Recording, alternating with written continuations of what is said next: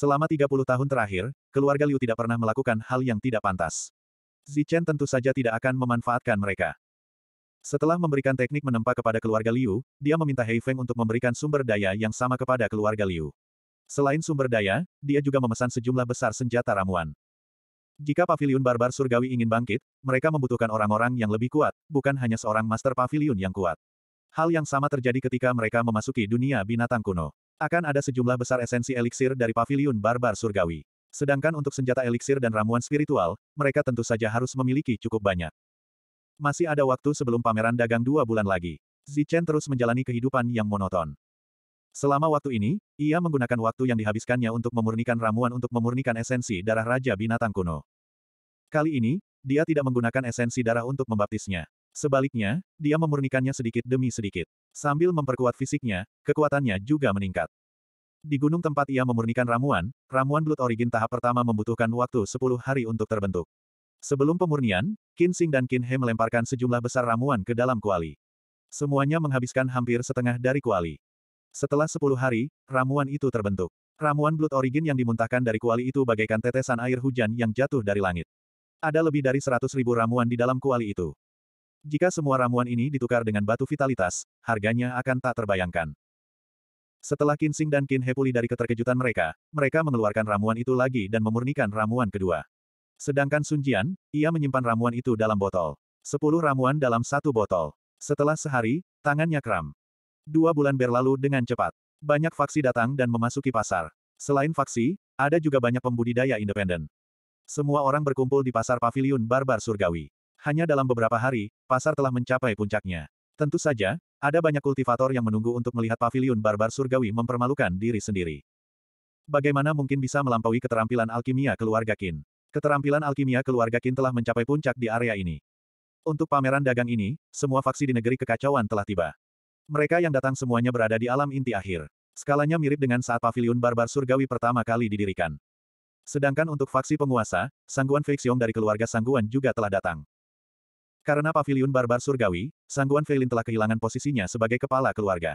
Meskipun dia tidak menunjuk Sangguan Feixiong sebagai kepala keluarga selama ini, dia telah menangani hampir semuanya.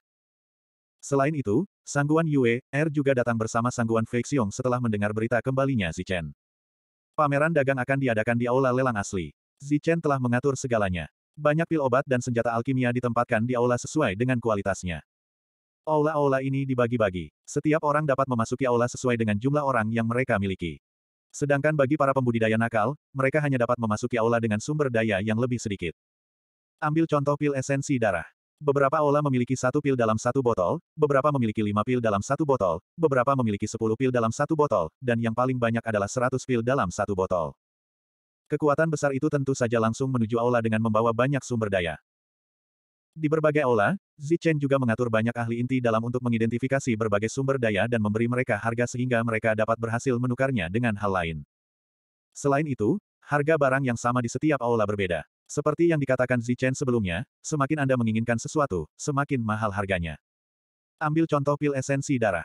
Satu botol pil esensi darah dapat ditukar dengan darah beberapa binatang purba biasa. Namun, satu botol berisi lima pil akan membutuhkan darah binatang purba dan bahan-bahan lainnya. Sebotol berisi sepuluh pil akan membutuhkan lebih banyak sumber daya secara rata-rata daripada sebotol pil sebelumnya. Sedangkan untuk sebotol berisi 100 pil, dijual khusus kepada pasukan utama. Diperlukan 40 tetes pil origin cair origin kelas menengah. Jika seseorang membutuhkan lebih dari seribu pil, diperlukan 50 tetes. Tentu saja, ada batasnya. Setiap orang tidak boleh membeli lebih dari tiga botol. Ini akan mencegah pasukan utama membeli 100 atau 1000 botol yang masing-masing botolnya berisi satu pil. Pameran dagang hari ini sebagian besar membahas pil obat. Kekuatan utama langsung menuju aula dengan sumber daya terbanyak. Sedangkan kekuatan yang lebih kecil dan pembudidaya nakal, mereka pergi ke aula lainnya. Pasukan penguasa berada di depan, sementara pasukan lainnya berada di belakang. Begitu mereka memasuki aula, mereka melihat deretan pil obat yang mempesona.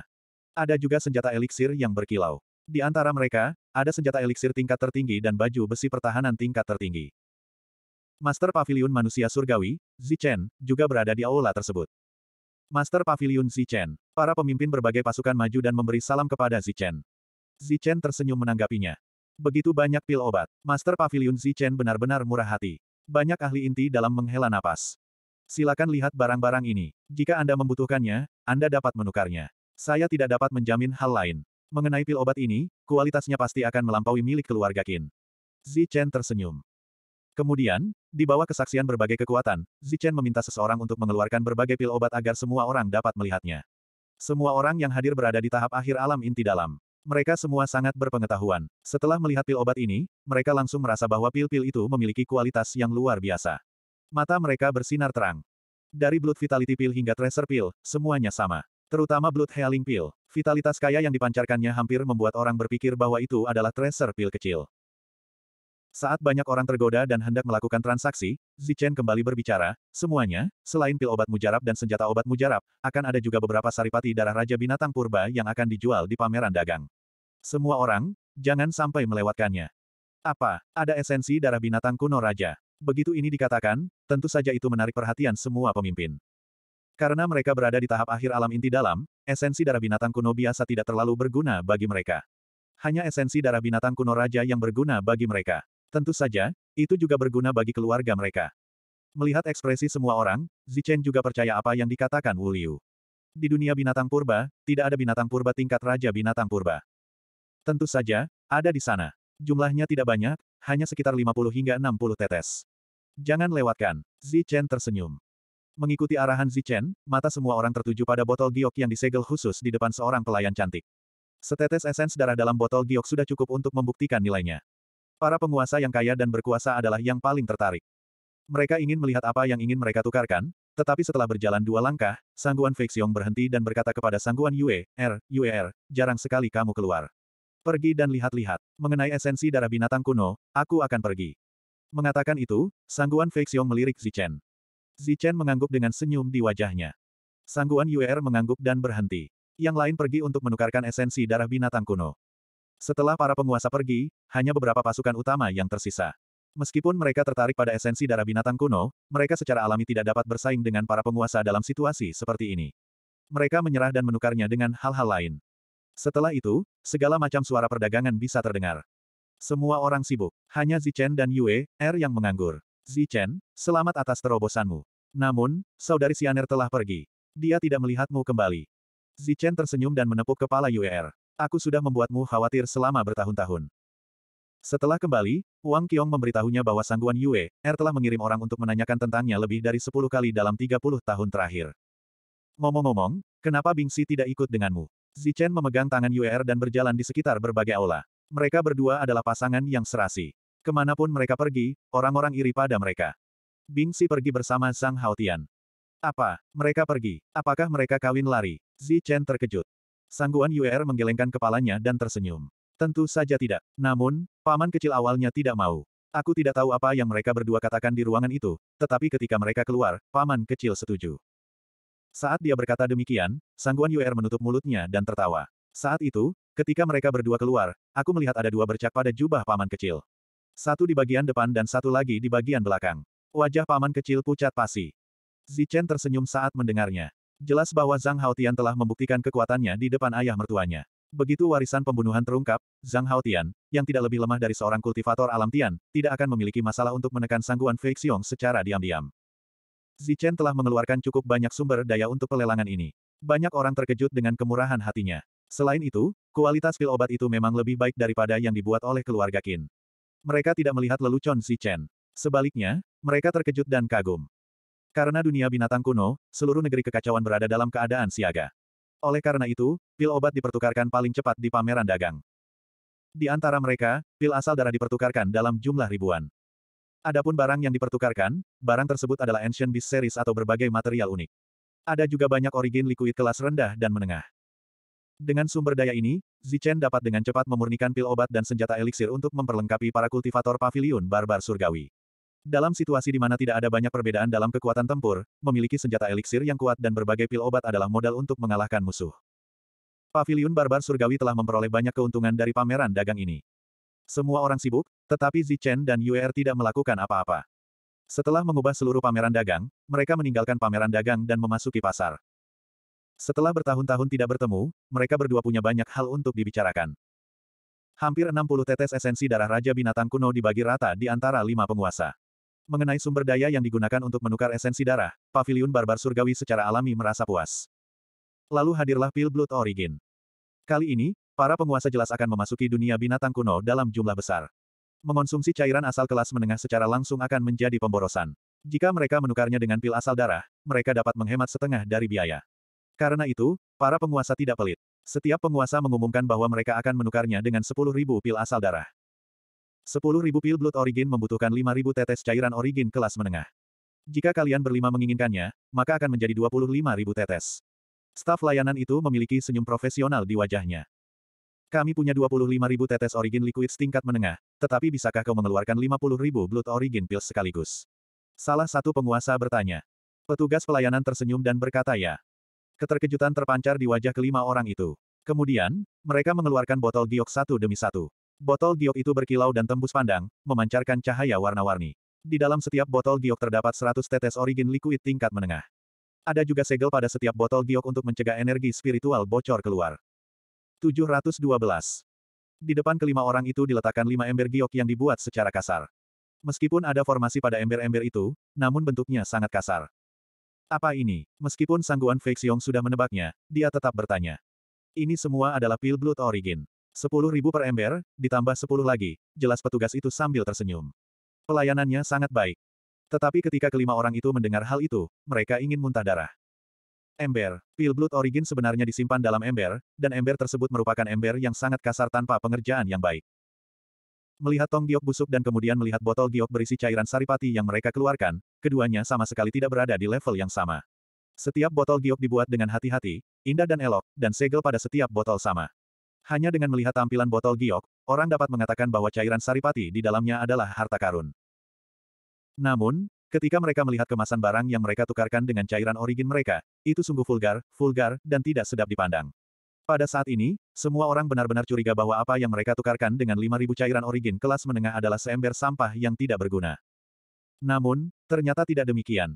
Setelah diperiksa, kelima orang itu menemukan bahwa kualitas pil blood origin sangat tinggi, dan memang ada 10.010. 10 tambahan itu adalah potongan harga dari Zichen. Barangnya memang bagus, tetapi kemasannya membuat kelima orang itu merasa sangat tidak seimbang. Mereka merasa telah mengalami kerugian besar. Zichen ini terlalu tidak bisa diandalkan. Pil vitalitas darah yang kami lewati semuanya dikemas dengan sangat indah, tetapi setidaknya ada satu pil di setiap kemasan indah itu. Kami meminta sepuluh ribu pil, tetapi dia bahkan tidak mengemasnya dengan benar dan hanya menaruhnya di ember. Mereka berlima agak tidak puas dengan ketidakpedulian Zichen terhadap citranya. Selain pil blood origin, mereka juga membutuhkan pil lain, jadi mereka terus bertukar. Dalam pertukaran berikutnya, mereka menerima perawatan yang sama. Di mata mereka, pil obat yang sangat berharga dan sulit didapat itu semuanya digunakan dalam ember oleh si Chen.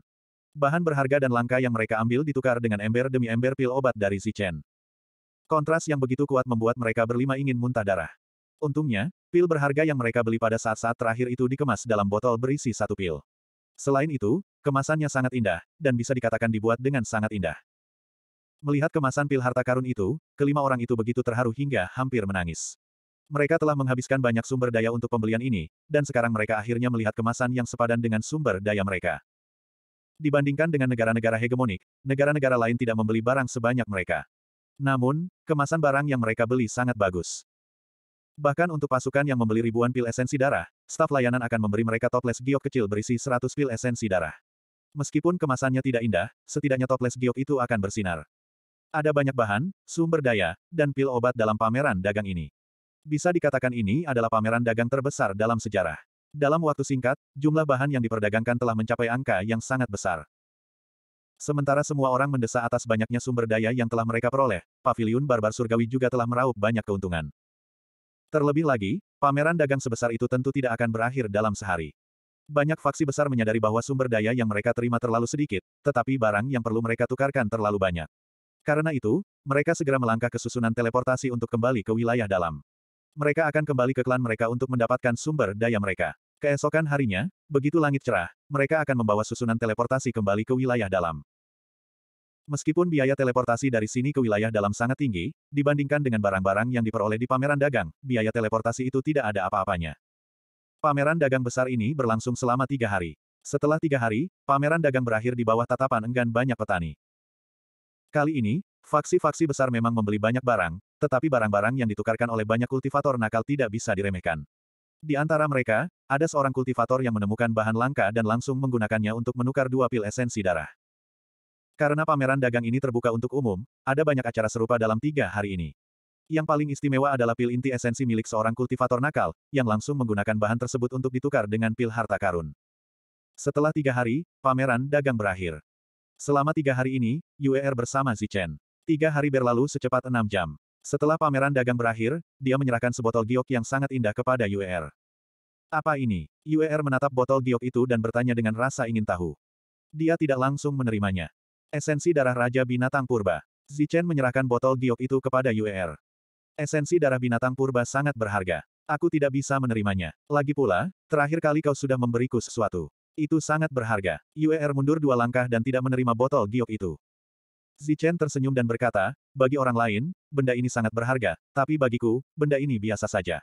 Jangan menolak, ambil saja. Zichen tidak membiarkan UER menolak lagi dan memaksakan botol giok itu ke tangan UER. Kemudian, Zichen menekan tangannya ke tangan Giok Yuer dan berkata, jika pamanmu bertanya, kamu dapat memberitahu dia bahwa ada lima tetes esensi darah binatang kuno di sini. Yuer sangat cerdas. Ketika Zichen berbicara, dia mengerti maksud Zichen. Setelah mengangguk patuh, dia menatap Zichen dengan tatapan yang sangat menyesal. Jangan khawatir. Zichen tersenyum dan menarik Yuer menuju pameran dagang. Ke mana kita sekarang? Apakah kita akan kembali? Suara Yuer jelas-jelas dipenuhi kekecewaan. Setelah kembali, mereka harus berpisah. Setelah berpisah untuk waktu yang lama, mereka tidak akan bisa bertemu lagi. Ini adalah sesuatu yang tidak disukainya. Kali ini, banyak pasukan telah mengirim ahli inti primal akhir. Ini tidak akan semudah berpartisipasi dalam pameran dagang. Seharusnya ada hal lain yang perlu didiskusikan, kata Zichen sambil berjalan. Benar saja, ketika Zichen tiba di pameran dagang, para pemimpin berbagai kekuatan telah berkumpul bersama. Bahkan wakil master pavilion Wang Qiong ada di sana. Tampaknya hanya Zichen yang hilang. Melihat kedatangan Zichen, semua orang menghampirinya. Pertama, mereka mengucapkan selamat kepada Zichen atas keberhasilan pameran dagang tersebut. Kemudian, mereka mengungkapkan rasa terima kasih mereka. Karena pada pameran dagang kali ini, Zichen tidak memberikan harga yang tinggi. Bahkan lebih rendah dari yang mereka harapkan. Semua orang merasa sangat puas. Setelah UER tiba, dia berjalan mendekati Sangguan Feixiong. Yang terakhir tampak menanyakan sesuatu. Setelah UER menjawab, wajahnya yang sudah tersenyum menjadi lebih berseri-seri, seperti bunga krisan yang sedang mekar. Kemudian, di depan mata semua orang, Sangguan Feixiong mengambil botol giok itu. Dia bahkan mengatakan bahwa dia menyimpannya untuk UER. Mengenai hal ini, Zichen tidak bisa mengungkapkan ketidakpuasannya. Adapun yang lain, mereka juga tidak bisa mengatakan apa-apa. Kalian semua pasti punya sesuatu untuk dibicarakan. Setelah saling menyapa, Zichen langsung ke pokok permasalahan. Benar, semua orang mengangguk. Kalau begitu, ikuti aku ke tempat pertemuan. Kemudian, Zichen membawa semua orang ke ruang pertemuan. Setelah mengatur tempat duduk, Zichen bertanya, apa yang ingin kalian bicarakan? Apakah ini tentang dunia binatang kuno? Setelah semua orang saling memandang, mereka menggunakan mata mereka untuk memilih seorang juru bicara. Dia adalah Sangguan Feixiong. Setelah Sangguan Feixiong menerima persetujuan, dia berkata, benar sekali. Ini tentang dunia binatang kuno. Saya pikir seluruh negeri Betlam harus bersatu dan membentuk aliansi. Semua orang mungkin sudah membicarakan hal ini secara pribadi.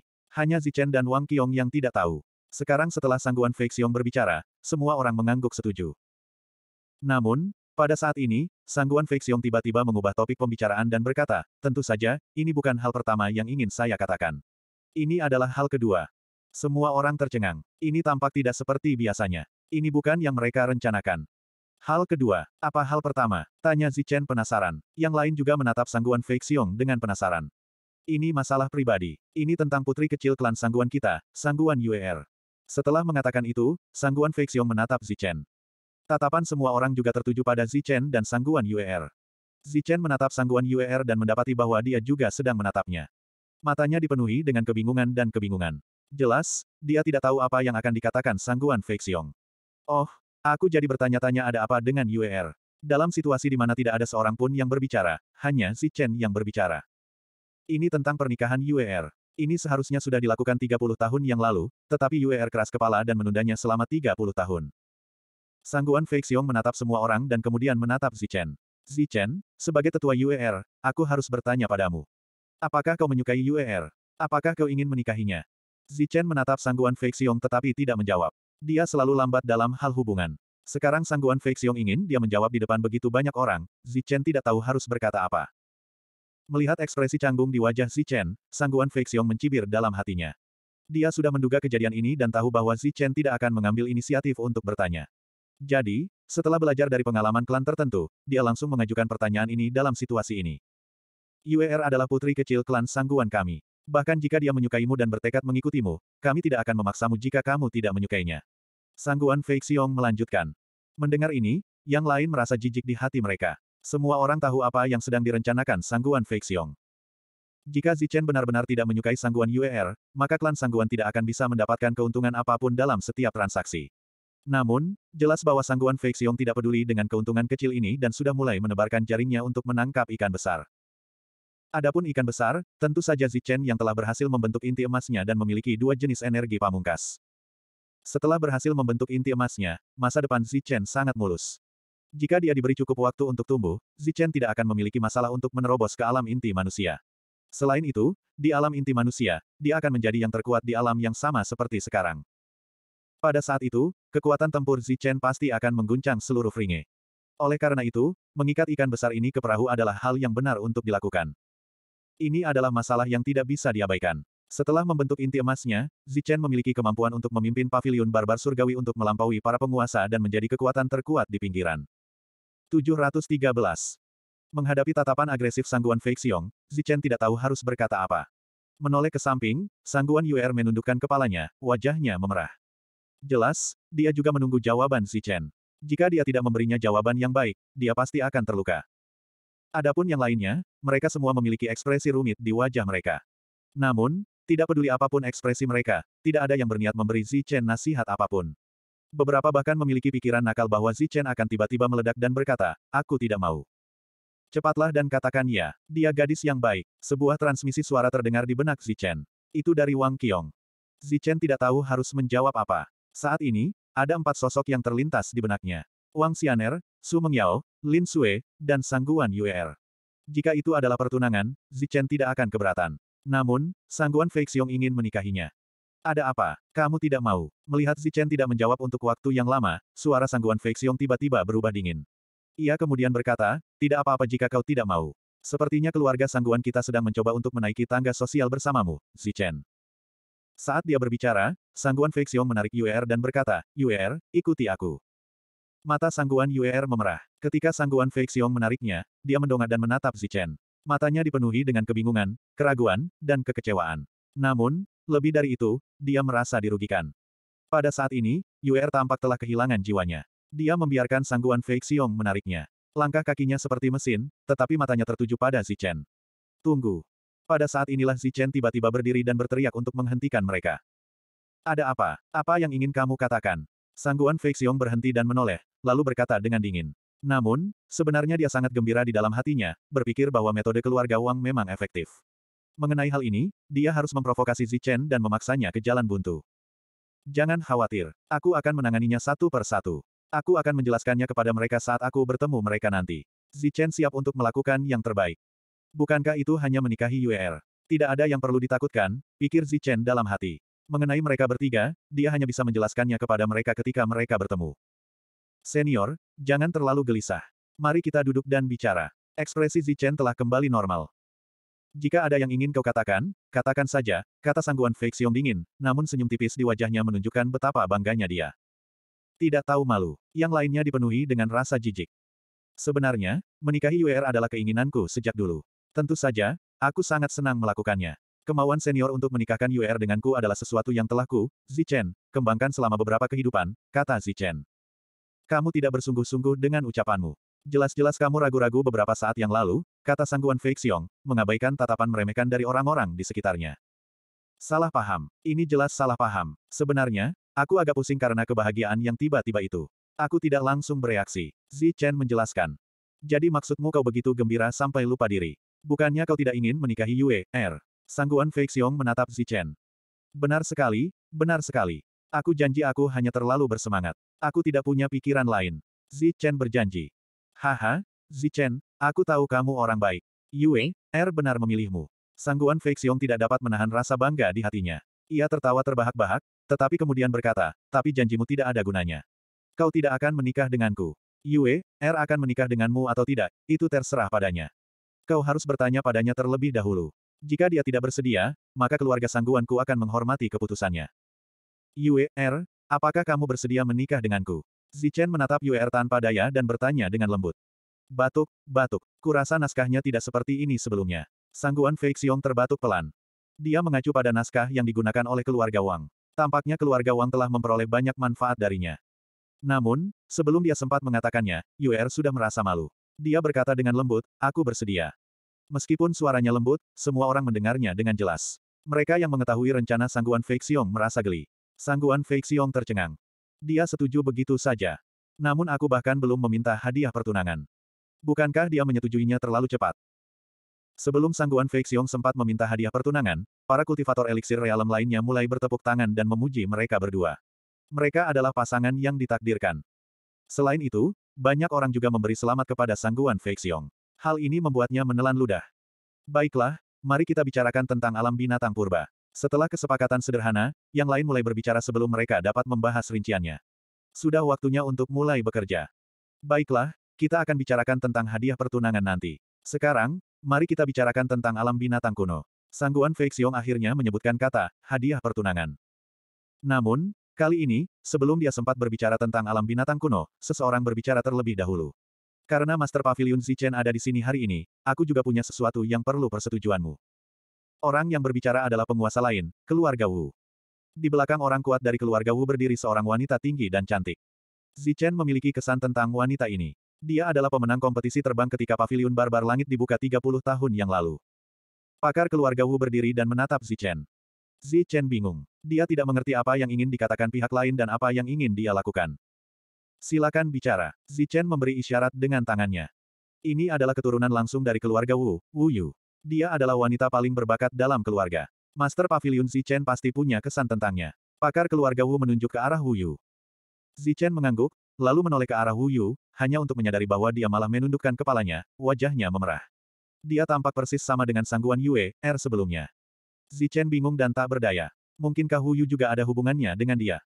Saya ingat bahwa juara kompetisi itu sangat kuat dan gagah berani. Dalam sekejap mata, lebih dari 30 tahun telah berlalu, dan dia menjadi semakin cantik. Saya benar-benar tidak berani mengenalinya lagi, puji Chen. Namun, dia mencoba mengatakan bahwa mereka tidak dekat. Mereka tidak pernah bertemu selama 30 tahun. Kultivator klan Wu tersenyum dan berkata, Tuan Pavilion Chen, Anda benar-benar tahu cara bercanda. Namun, apa yang akan saya katakan selanjutnya adalah masalah Wu Yu. Saya harap Tuan Pavilion Chen dapat membuat keputusan. Membuat keputusan. Keputusan apa? Chen bingung. Saya harap Master Pavilion Zichen dapat mengambil keputusan dan menjodohkan Wu Yu dengan wakil Master Pavilion Wang Qiong. Zichen tercengang mendengar kata-kata ahli dari keluarga Wu. Yang lain juga terkejut. Namun, hal itu tidak menjadi masalah baginya. Zichen bereaksi cepat dan berkata, orang tua wakil Master Pavilion kita Wang Qiong masih hidup. Begitu pula leluhurnya. Kurasa bukan giliranku untuk mengambil keputusan. Sebenarnya, Zichen tidak bisa membuat keputusan. Pada saat yang sama, dia tidak bisa mengetahui niat pihak lain. Saya sudah membicarakan hal ini dengan keluarga Wang. Namun, mereka semua mengatakan bahwa Wang Qiong ada di pavilion barbar surgawi, jadi Anda harus membuat keputusan. Saya pikir jika pernikahan itu berhasil, itu akan dianggap sebagai aliansi antara keluarga Wu dan pavilion barbar surgawi, kata ahli keluarga Wu. Meskipun aku adalah master pavilion, pernikahan itu sangat penting. Lagi pula, bukan aku yang akan menikah. Sepertinya kau harus meminta pendapat wakil master pavilion. Zichen tampak seperti sedang dalam posisi yang sulit. Sebenarnya, ada sesuatu yang tidak dia katakan. Wang Qiong adalah calon saudara iparnya. Bagaimana dia bisa membuat keputusan untuk pernikahan saudara iparnya? Yang lain juga bingung. Apa yang salah dengan pasukan penguasa ini? Mereka biasanya sangat sombong. Mereka bahkan tidak setuju ketika yang lain melamar dengan hadiah pertunangan. Sekarang setelah mereka bertemu dengan pavilion barbar surgawi, mereka benar-benar berinisiatif untuk mengirim wanita mereka kepada mereka. Masalah ini sebenarnya bermula 30 tahun yang lalu ketika pavilion barbar surgawi dibuka. Saat itu, Wu Yu memiliki perasaan terhadap wakil Master Pavilion Wang Qiong untuk pertama kalinya. Setelah kembali, dia tidak bisa melupakan wakil Master Pavilion Wang Qiong. Selama bertahun-tahun, dia sering pergi ke Pavilion Barbar Surgawi untuk menemui wakil Master Pavilion Wang Qiong. Dalam 30 tahun terakhir, mereka berdua bertemu beberapa kali. Wu Yu belum menikah karena hatinya bersama wakil Master Pavilion Wang Qiong, kata ahli keluarga Wu. Setelah mendengar perkataan ahli keluarga Wu, Zichen akhirnya mengerti mengapa Wang Qiong tidak membalas transmisi suaranya. Ternyata mereka berdua telah berhubungan selama bertahun-tahun. Dapat dilihat bahwa dalam 30 tahun terakhir, Wang Qiong memiliki bisnis sampingan lain selain mengelola pavilion barbar surgawi. Jika kamu tidak mau, aku akan langsung menolakmu. Zichen mengirimkan transmisi suara lagi. Suaranya jelas menggoda. Setelah beberapa lama, Wang Qiong mengirimkan transmisi suara dan berkata dengan canggung, sebenarnya, tidak ada apa-apa di antara kita. Kita hanya bertemu beberapa kali dan memiliki kesan yang baik satu sama lain. Jadi, menurut kalian semua sudah setuju dan hanya aku yang masih belum tahu. Kali ini, Zichen tidak perlu menunggu lama. Wang Qiong mengirimkan transmisi suara, jangan dengarkan keluarga Wu. Xiao Yu telah tertarik padaku selama ini, tetapi keluarga Wu telah menghalangi kita dan dengan tegas menentangnya. Jika kamu tidak tiba-tiba kembali, Xiao Yu mungkin sudah menikah dengan orang lain. Kamu tidak mengatakan apa-apa tadi, tetapi sekarang kamu memanggilnya Little Yu. Aku merasa jijik padamu. Zi Chen menggoda. Masalahnya sudah jelas. Kedua belah pihak memiliki perasaan satu sama lain. Zi Chen tentu saja tidak bisa melakukan apa pun untuk menghancurkan mereka. Terlebih lagi, pernikahan antara keduanya setara dengan membentuk aliansi dengan keluarga Wu. Ini juga merupakan langkah yang perlu diambil oleh pasukan. Pada akhirnya, Zichen membuat keputusan akhir. Dia berkata, karena keluarga Wu bersedia, paviliun barbar surgawi tentu saja akan setuju juga. Kemudian, Zichen tersenyum dan berkata, keluarga Wu dapat memilih tanggal dan hadiah pertunangan. Namun, Anda tidak dapat meminta paviliun barbar surgawi. Semua orang tertawa. Aliansi pernikahan dengan keluarga Wu diselesaikan begitu saja. Paviliun barbar surgawi telah membentuk aliansi dengan dua kekuatan penguasa bahkan sebelum urusan yang sebenarnya dibahas. Hal ini membuat semua orang memiliki beberapa pikiran aneh. Namun, dari kedua hal ini, dapat dilihat bahwa kebangkitan paviliun barbar surgawi tidak dapat dihentikan. Dan Yuan dari keluarga Wu duduk. Setelah itu, tidak ada seorang pun yang menyinggung tentang aliansi pernikahan. Jadi, Sangguan Feixiong berdiri dan mulai berbicara tentang bisnis yang tepat. Kali ini, kita berkumpul untuk membahas cara memasuki dunia binatang kuno, kata Sangguan Feixiong. Sangguan Feixiong berkata, kali ini, orang-orang kita pergi ke dunia binatang purba dan menemukan orang-orang dari daerah lain. Orang-orang dari daerah lain. Benar sekali. Meskipun kita belum melihat satu pun seniman bela diri langit, kita telah melihat iblis dari gurun. 714. Tanah tandus adalah habitat ras monster. Ras monster terkuat di sana adalah ras manusia naga. Saat itu, Zichen telah membantai ras monster di tanah tandus di medan perang kuno. Kau bertemu dengan ras monster. Kedua belah pihak seharusnya bertarung, kan? Tanya Zichen setelah berpikir sejenak. Sangguan Feixiong mengangguk dan berkata, benar sekali. Ras monster sangat biadab. Mereka menyerang tanpa mengatakan apa pun. Zichen tidak terkejut dengan pertarungan antara kedua belah pihak. Dulu di medan perang kuno, saat ras iblis melihat mereka, mereka tidak bersahabat. Pada akhirnya, Zichen membantai mereka. Mengenai hasil pertarungan dengan ras iblis ini, Zichen tidak perlu bertanya untuk menebak. Kekalahan, dan kekalahan telak. Kalau tidak, para penguasa arogan dan kekuatan lainnya tidak akan meminta aliansi. Tempat seperti apakah dunia binatang kuno itu? Zichen tidak berbicara tentang aliansi. Sebaliknya, ia bertanya tentang dunia binatang kuno. Sangguan Feixiong berpikir sejenak dan berkata, ini adalah dunia kecil, tetapi tidak jauh berbeda dari dunia nyata. Meskipun telah ditemukan selama beberapa dekade, orang-orang kita masih belum dapat mengetahui seberapa besarnya. Dunia ini sangat rumit, dan ada lorong dan pintu keluar ke wilayah lain. Kami menduga bahwa ini adalah medan perang kuno lainnya. Kemudian, Sangguan Feixiong menjelaskan situasi dunia binatang kuno secara terperinci. Ini adalah rahasia para penguasa. Ini adalah pertama kalinya banyak kekuatan mendengarnya. Setelah memahami dunia binatang purba, langkah selanjutnya adalah membahas aliansi. Alasan mengapa negeri kekacauan membentuk aliansi adalah untuk menghindari pertikaian internal. Musuh kita berasal dari wilayah lain, kata Sangguan Feixiong. Yang lainnya mengangguk. Jelas, banyak kekuatan telah setuju. Sekarang, mereka menunggu persetujuan paviliun barbar surgawi. Zichen berpikir sejenak tetapi tidak langsung setuju. Sangguan Feixiong melanjutkan, kami sudah berdiskusi sebelum datang. Pintu keluar dari dunia binatang kuno sepenuhnya terbuka untuk paviliun barbar surgawi. Orang-orang paviliun barbar surgawi dapat masuk dan keluar sesuka hati tanpa membayar apa pun. Namun, kami berharap paviliun barbar surgawi dapat membantu saat sekutu kami dalam bahaya. Terus terang, mereka tertarik dengan kekuatan tempur paviliun barbar surgawi. Mereka berharap dapat menggunakan paviliun barbar surgawi untuk menekan para kultivator dari daerah lain. Sekarang kita berada di dunia baru, kita tidak bisa saling bertarung. Kita perlu bekerja sama untuk menghadapi dunia luar. Aku setuju dengan itu. Zichen menyetujui aliansi tersebut. Selanjutnya, tibalah saatnya untuk membahas rincian tentang memasuki dunia binatang kuno. Ini termasuk jumlah orang dan waktunya. Sebagian besar pasukan khawatir tentang kapan paviliun barbar surgawi akan memasuki dunia binatang kuno dan apakah Zichen akan pergi bersama mereka. Zichen memikirkannya dengan serius dan berkata, dalam setengah tahun, saya secara pribadi akan memimpin tim ke sana. Setengah tahun. Semua orang tercengang saat mendengar ini. Mereka mengira paviliun barbar surgawi akan masuk dalam beberapa bulan, tetapi ternyata setengah tahun kemudian. Jawaban ini agak di luar dugaan mereka. Zichen mengangguk dan menjelaskan, dalam setengah tahun ini, paviliun barbar surgawi akan menjadi sekutu permanen keluarga Wu. UR dan aku juga akan mengadakan upacara pertunangan kami saat ini. Ini adalah keputusan yang dibuat Zichen setelah pertimbangan serius. Saat ini, Paviliun Barbar Surgawi membutuhkan sekutu, dan keluarga Wu dan keluarga Sangguan tidak diragukan lagi merupakan kekuatan terbaik untuk menjadi sekutu. Tentu saja, yang terpenting adalah Wang Qiong dan Wu Yu saling mencintai. Akan sama saja jika mereka menikah sesegera mungkin. Keluarga Wu dan keluarga Sangguan tentu saja senang dan menyatakan tidak ada masalah. Pasukan lain juga memberi selamat kepada mereka. Setelah satu jam, kerumunan bubar. Wu Yu mengikuti para ahli keluarga Wu kembali.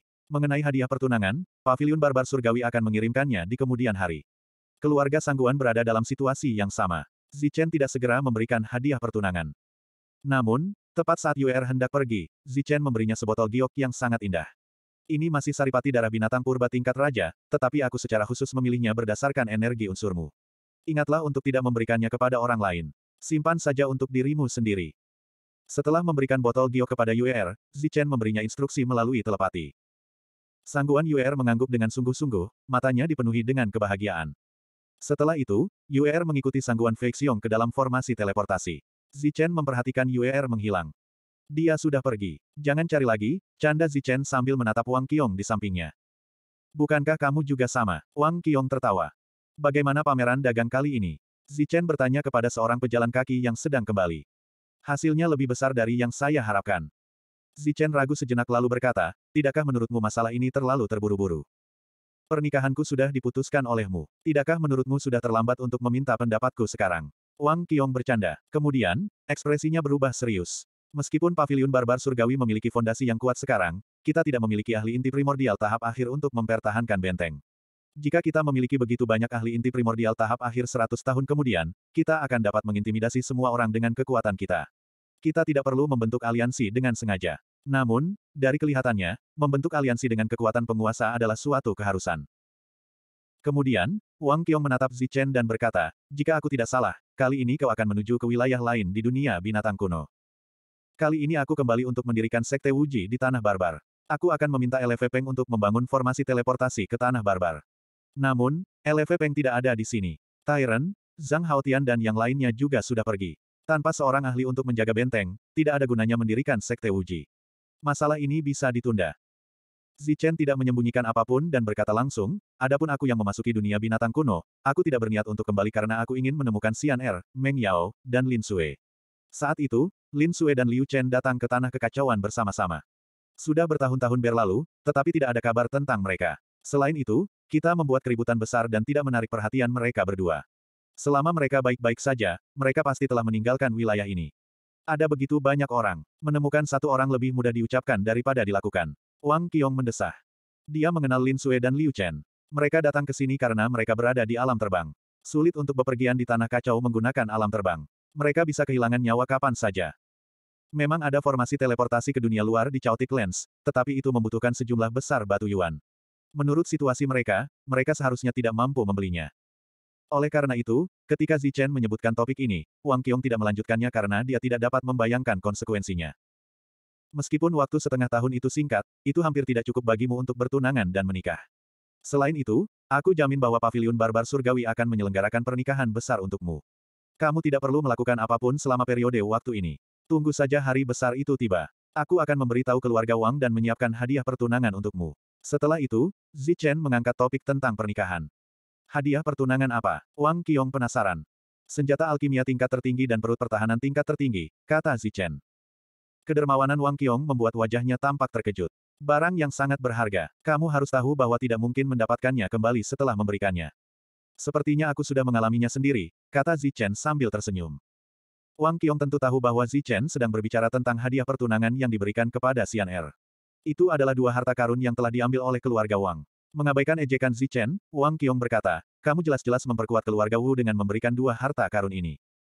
Baiklah, wakil ketua paviliun barbar surgawi akan menikah.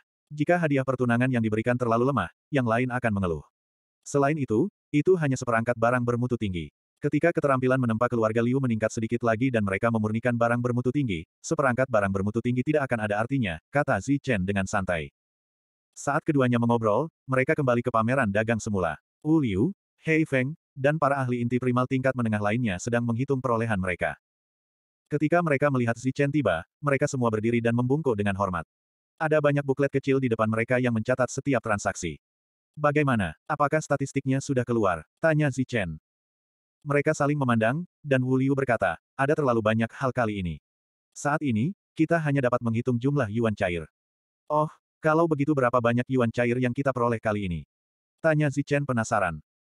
Ada 41.568 tetes cairan saripati tingkat menengah dan 218.733 tetes cairan saripati tingkat rendah. Sepertinya ada banyak hal. Sepertinya fondasi dari faksi-faksi ini tidak dangkal. Ekspresi terkejut muncul di wajah si Chen. Dia sangat puas dengan perolehan kali ini. Waktu adalah hal terpenting. Kalian bekerjalah sedikit lebih keras dan cepat hitung barang-barangnya. Coba saya lihat daftarnya. Oh ya, di mana Qin Xing dan Qin He? Mengapa saya tidak melihat mereka? Tanya Zichen setelah memberi instruksi kepada mereka. Mereka berdua sedang memilah tanaman obat di gudang tanaman obat, jawab Wu Liu. Zichen mengangguk dan pergi bersama Wang Qiong, langsung menuju gudang tanaman obat.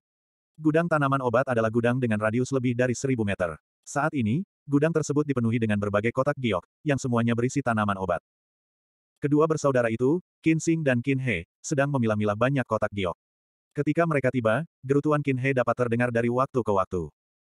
Orang-orang ini benar-benar bodoh. Saya sudah menyuruh mereka memilah tanaman herbal berdasarkan kategorinya. Bagus, sekarang semuanya jadi kacau.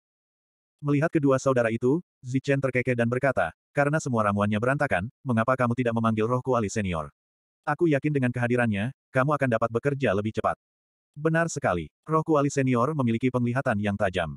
Dia dapat merasakan ramuan di dalam kotak giok. Dengan dia di sekitar, kita akan dapat melakukan pekerjaan dua kali lipat dengan setengah usaha. Mata Qin He berbinar setelah mendengar pengingat si Chen. Ayo cepat ke paviliun barbar surgawi dan panggil roh kuali senior. Setelah memilah ramuan spiritual, kita harus memanfaatkan waktu untuk memurnikannya. Dalam setengah tahun, orang-orang kita akan memasuki alam binatang kuno. Kedua bersaudara itu mengangguk. Setelah itu, Qin He pergi memanggil roh kuali sementara Qin Xing tetap tinggal untuk memilah ramuan spiritual. Setelah meninggalkan gudang ramuan, Wang Qiong berkata, setelah pameran dagang ini, sumber daya paviliun barbar surgawi kita telah mencapai puncaknya. Yang kita kekurangan adalah para ahli inti primal yang terlambat. Benar sekali. Tanpa banyak ahli primal core yang terlambat, kita tidak akan bisa benar-benar menjadi kekuatan penguasa. Sampaikan perintahnya. Begitu ahli primal core tingkat menengah mencapai titik puncak, berikan dia sumber daya yang dibutuhkan untuk menembus titik puncak tersebut. Ketika berita tentang keberhasilan pameran dagang paviliun barbar surgawi sampai ke telinga klan Qin, penyesalan di hati Qin Rende semakin kuat. Dia sudah merasakan bahwa klan Qin semakin menjauh dari dunia Zichen. Zichen kembali ke paviliun barbar surgawi. Dua hari kemudian, laba dari pameran dagang itu ditabulasikan. Wu Liu membawa angka-angka yang ditabulasikan itu ke aula besar agar Si Chen dapat memeriksanya. 715. Melihat daftar yang padat di tangannya, Zi Chen tertegun sejenak. Meskipun dia sudah menduga akan mendapat banyak keuntungan dari pameran dagang ini, ketika dia benar-benar melihat barang-barang yang tercatat di daftar, meskipun dia sudah siap secara mental, dia masih terkejut. Selain cairan lebih dari 10.000 yuan, dia juga memperoleh banyak binatang purba. Ini semua adalah binatang purba yang diproduksi di dunia binatang purba. Meskipun kualitas saripati darah mereka hanya sebanding dengan macan tutul iblis kecil di medan perang purba, jumlahnya sangat banyak. Daftar binatang purba milik Zichen sendiri menghabiskan dua halaman penuh. Ada berbagai macam esensi darah. Selain itu, jumlah spesies binatang purba jauh lebih banyak daripada yang ada di medan perang kuno. Setelah beberapa dekade, Zichen telah mengonsumsi banyak binatang purba yang diperolehnya dari medan perang kuno.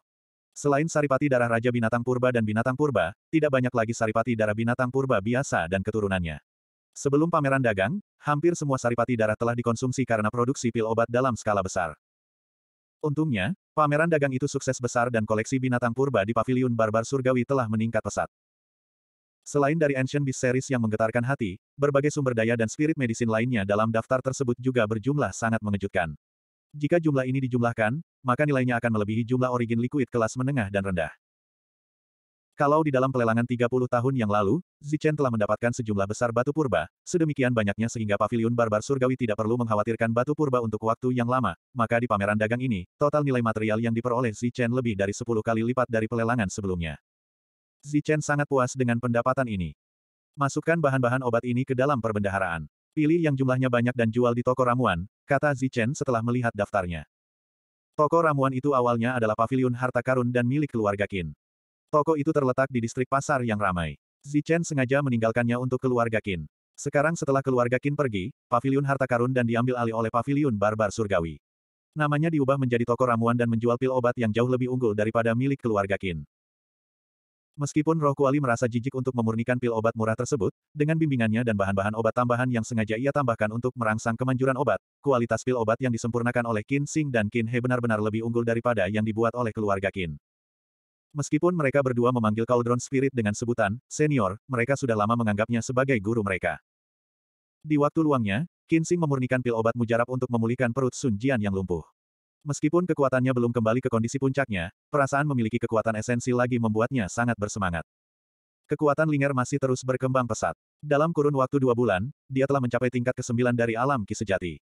Kecepatan kultivasi seperti itu dapat dikatakan sebagai lonjakan. Namun, dia selalu diserang oleh energi yin ekstrim. Energi ini telah lama tertanam di sumsum -sum tulangnya. Setelah mengolah seni yin ekstrim, dapat dikatakan bahwa dia telah mengumpulkan banyak energi dan mampu membuat terobosan. Keadaan meletusnya alam ini akan terus berlanjut di beberapa alam berikutnya. Setelah pameran dagang, seluruh paviliun barbar surgawi berada dalam suasana yang meriah. Master Pavilion, Zichen, akan bertunangan, dan wakil Master Pavilion akan menikah. Itu adalah berkah ganda. Selain itu, Zichen juga telah memilih 20 ahli inti primal tingkat menengah.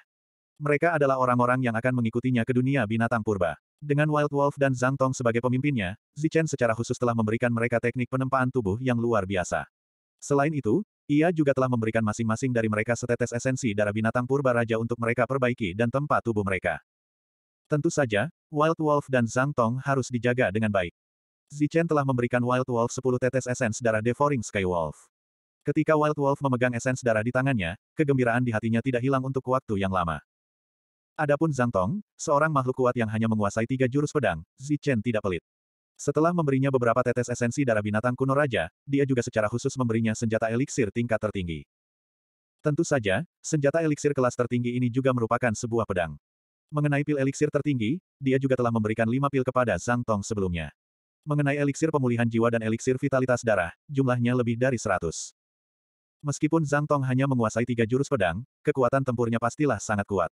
Jika dia menguasainya, dia pasti dapat membunuh seorang ahli primal core tingkat lanjut. Bahkan jika lawannya adalah monster dari gurun, dia pasti akan mati. Oleh karena itu, meskipun Zhang Tong harus mengonsumsi eliksir tertinggi setiap kali menyerang, hal itu tetap sepadan. Bagaimanapun, jumlah sumber daya yang dikonsumsi untuk mencapai ranah inti primal tingkat lanjut pasti akan melebihi eliksir tertinggi. Menukar eliksir tertinggi dengan nyawa seorang ahli inti primal tingkat lanjut jelas merupakan tindakan yang layak. Sejak pameran dagang berakhir, Cauldron Spirit tidak tinggal diam. Dia terus-menerus memurnikan pelet obat. Dia telah memurnikan tiga batch pelet asal darah setiap 10 hari. Jumlah total pelet asal darah yang dimurnikan telah melampaui 500 ribu. Selain itu, ia juga memurnikan pelet obat lainnya, termasuk ramuan tertinggi.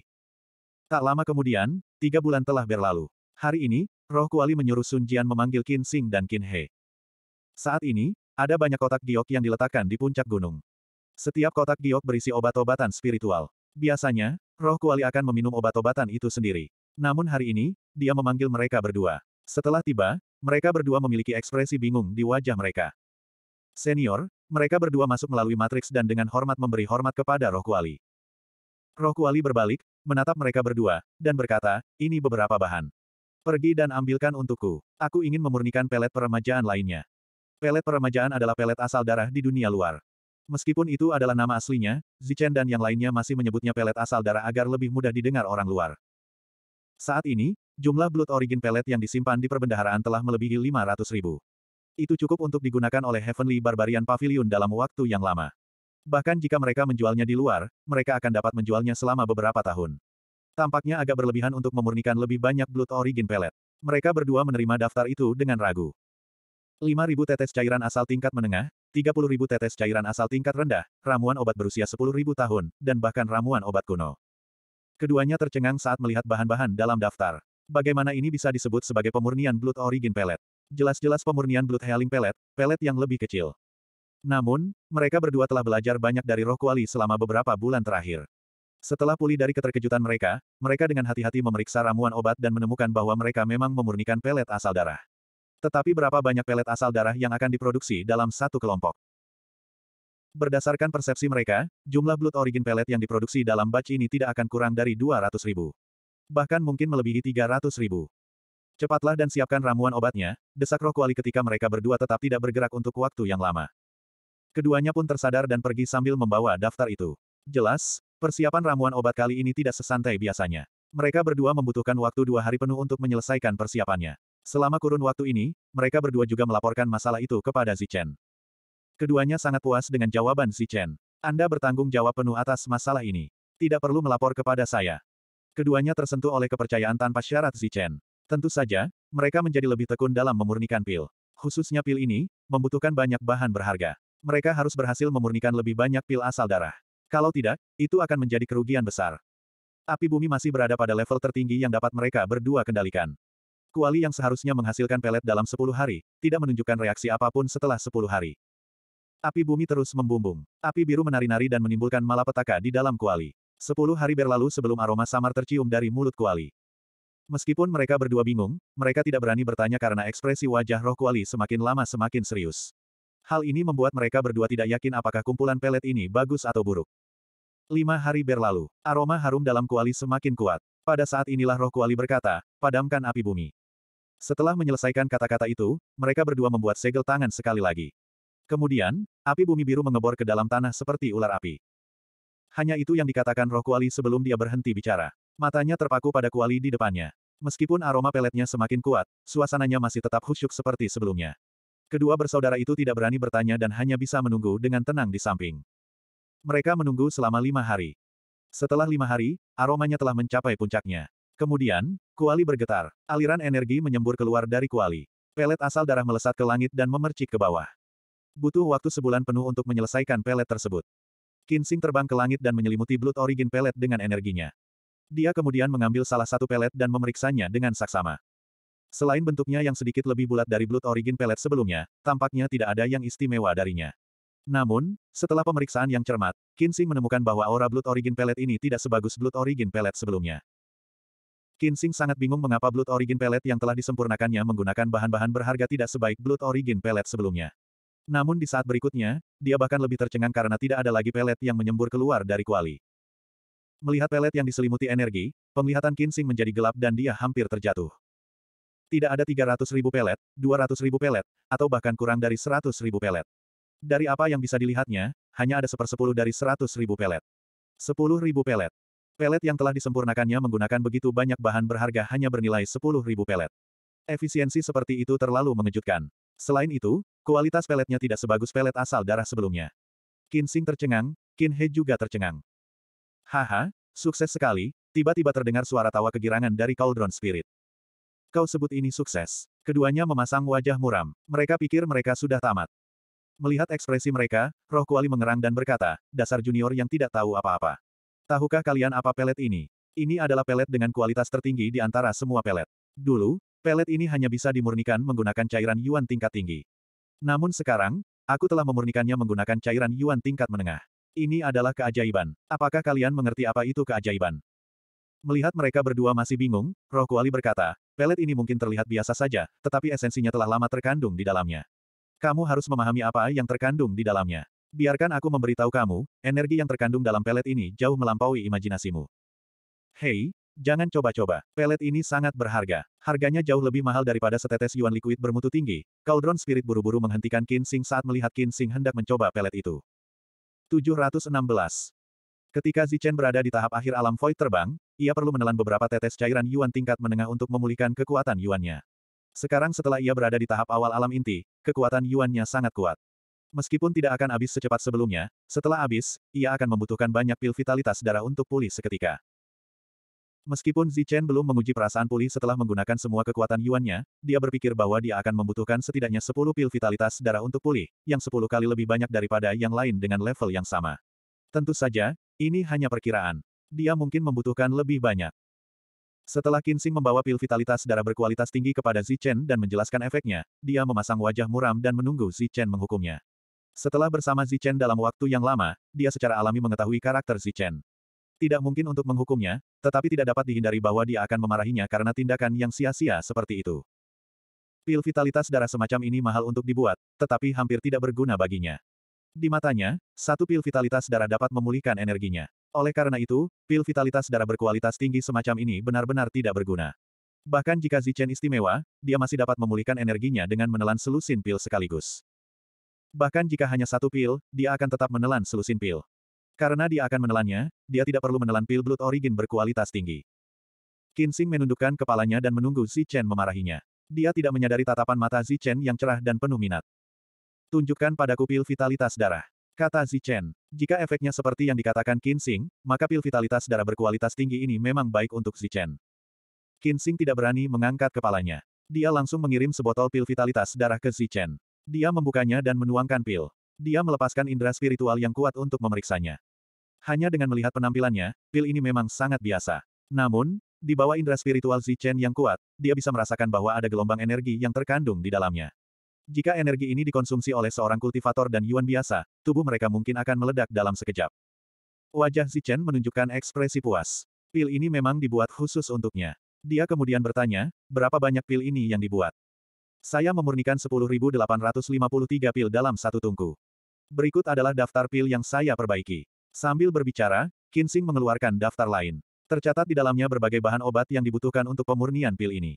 Ada bahan obat kuno, ramuan spiritual berusia 10.000 tahun, beberapa ribu botol cairan asal tingkat menengah, dan lebih dari 10.000 botol cairan asal tingkat rendah.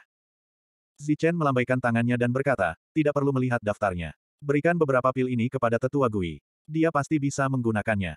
Sebelum Qin Xing sempat menjawab, Zichen melanjutkan, tidak, tidak perlu. Berikan saja padaku semua pelet asal darah ini. Aku akan menyusahkan roh kuali senior untuk memurnikan satu lagi untuk tetua Gui saat aku punya waktu. Zichen tidak menganggapnya sebagai pemborosan sumber daya dan malah ingin memurnikan kuali lainnya. Hal ini membuat Qin Xing menghela napas lega, tetapi dia juga bingung. Dia tidak dapat memahami apa yang begitu bagus dari pil yang menghabiskan begitu banyak energi ini. Setelah Qin Xing pergi, dia membawa semua pil esensi darah berkualitas tinggi ke Zichen. Setengah tahun telah berlalu sejak mereka memasuki alam binatang kuno. Zichen seharusnya sudah mempersiapkan hadiah pertunangan.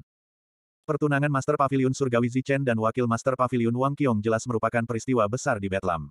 Hampir setiap faksi membicarakannya. Mereka tentu saja dapat melihat bahwa di balik pernikahan dan pertunangan tersebut, ada aliansi antara kedua belah pihak. Ini juga berarti Pavilion Barbar Surgawi akan menjadi faksi penguasa keenam. Atas pengaturan yang disengaja dari Zichen, Wang Zentian, Wang Zhenwei, leluhur keluarga Wang, dan seluruh keluarga Wang semuanya datang untuk berpartisipasi dalam upacara pernikahan Wang Qiong. Pada hari pernikahan, keluarga Wang adalah bintang yang sebenarnya.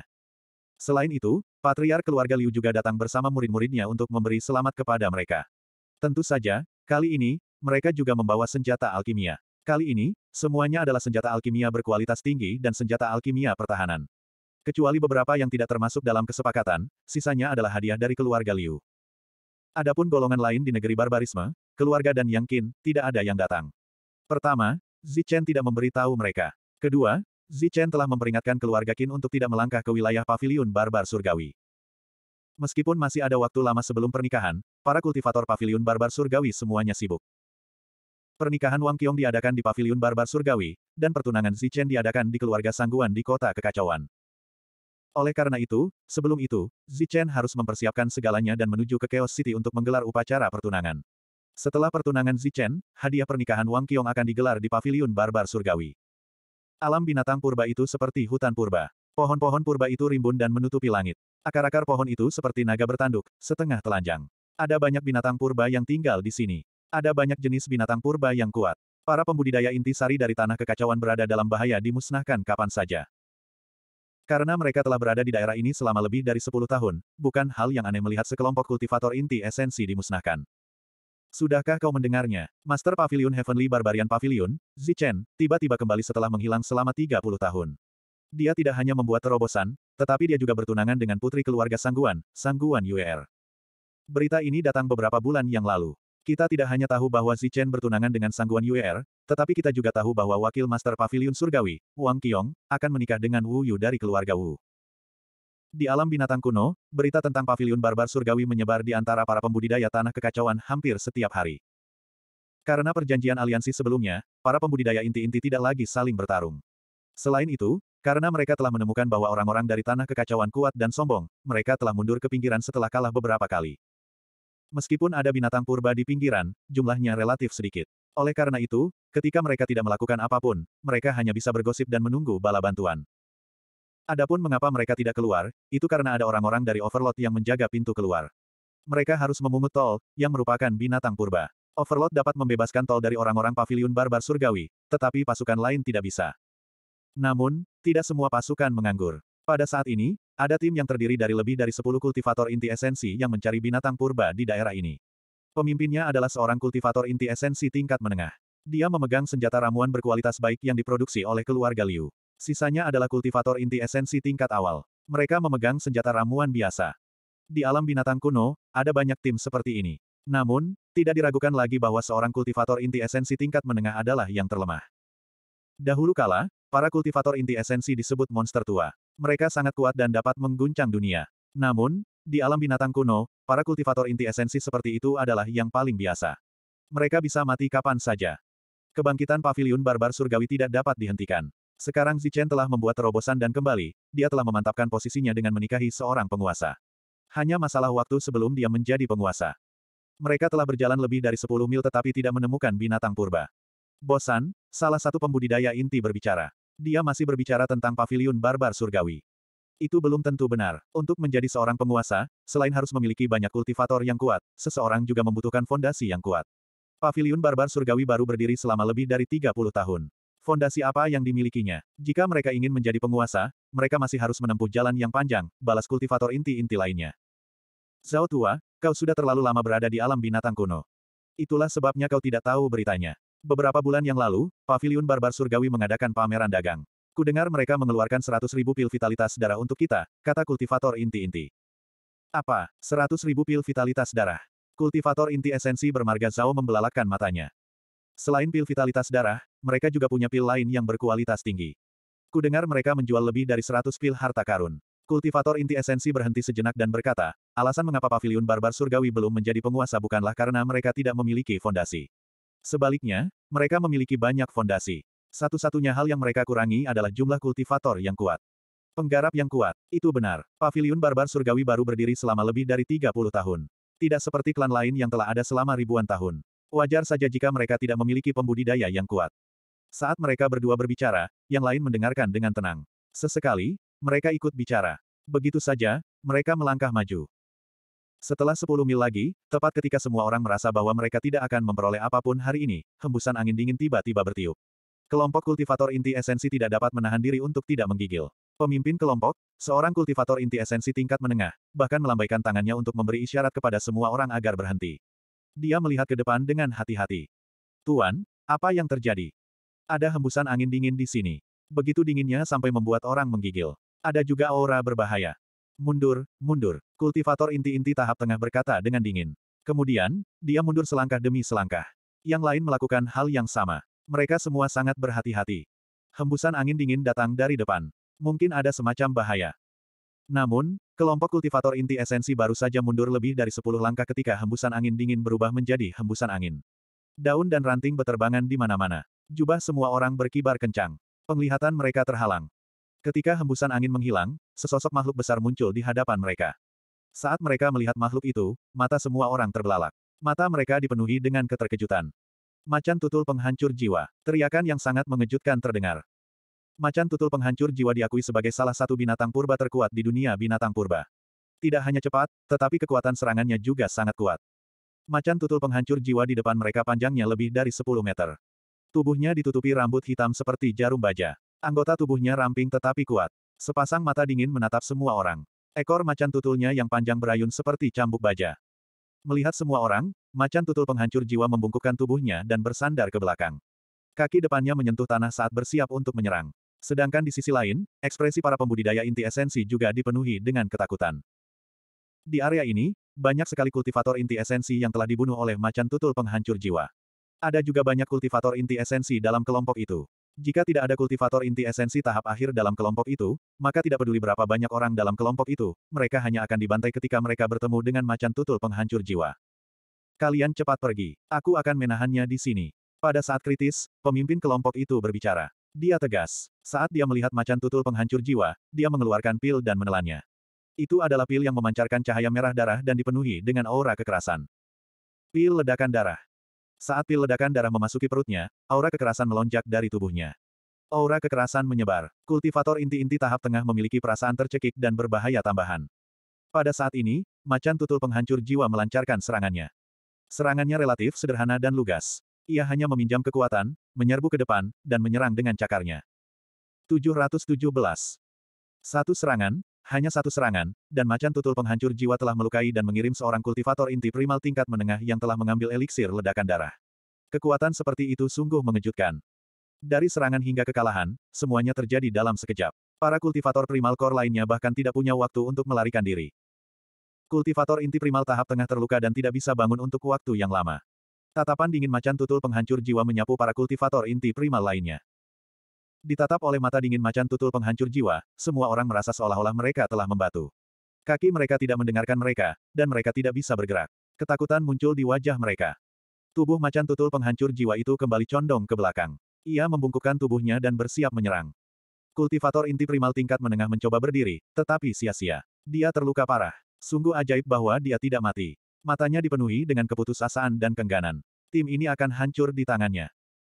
Kultivator primal core tingkat menengah tidak bisa bergerak, tetapi macan tutul penghancur jiwa bisa. Pada saat berikutnya, ia bergerak. Menggunakan kaki depannya, ia berlari ke arah seorang kultivator primal core tingkat awal. Ia secepat sambaran petir hitam. Tatapan kejam melintas di mata dingin macan tutul penghancur jiwa. Kaki depannya yang kuat menyerang kepala kultivator primal core tingkat awal. Menghadapi serangan macan tutul penghancur jiwa, yang terakhir tidak punya waktu untuk mengambil posisi bertahan.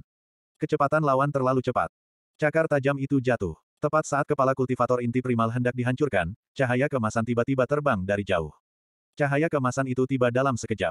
Itu sangat cepat. Sebelum kaki depan macan tutul penghancur jiwa mendarat, ia berada di antara kultivator inti primal dan macan tutul penghancur jiwa, menghalangi serangan itu. Ledakan.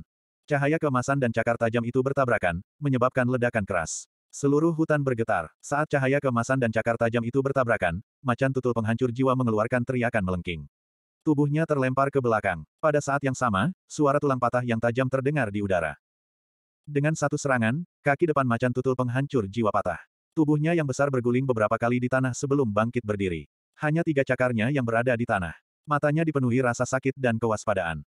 Macan tutul penghancur jiwa yang kuat terluka dalam satu serangan. Pemandangan seperti itu mengejutkan semua orang.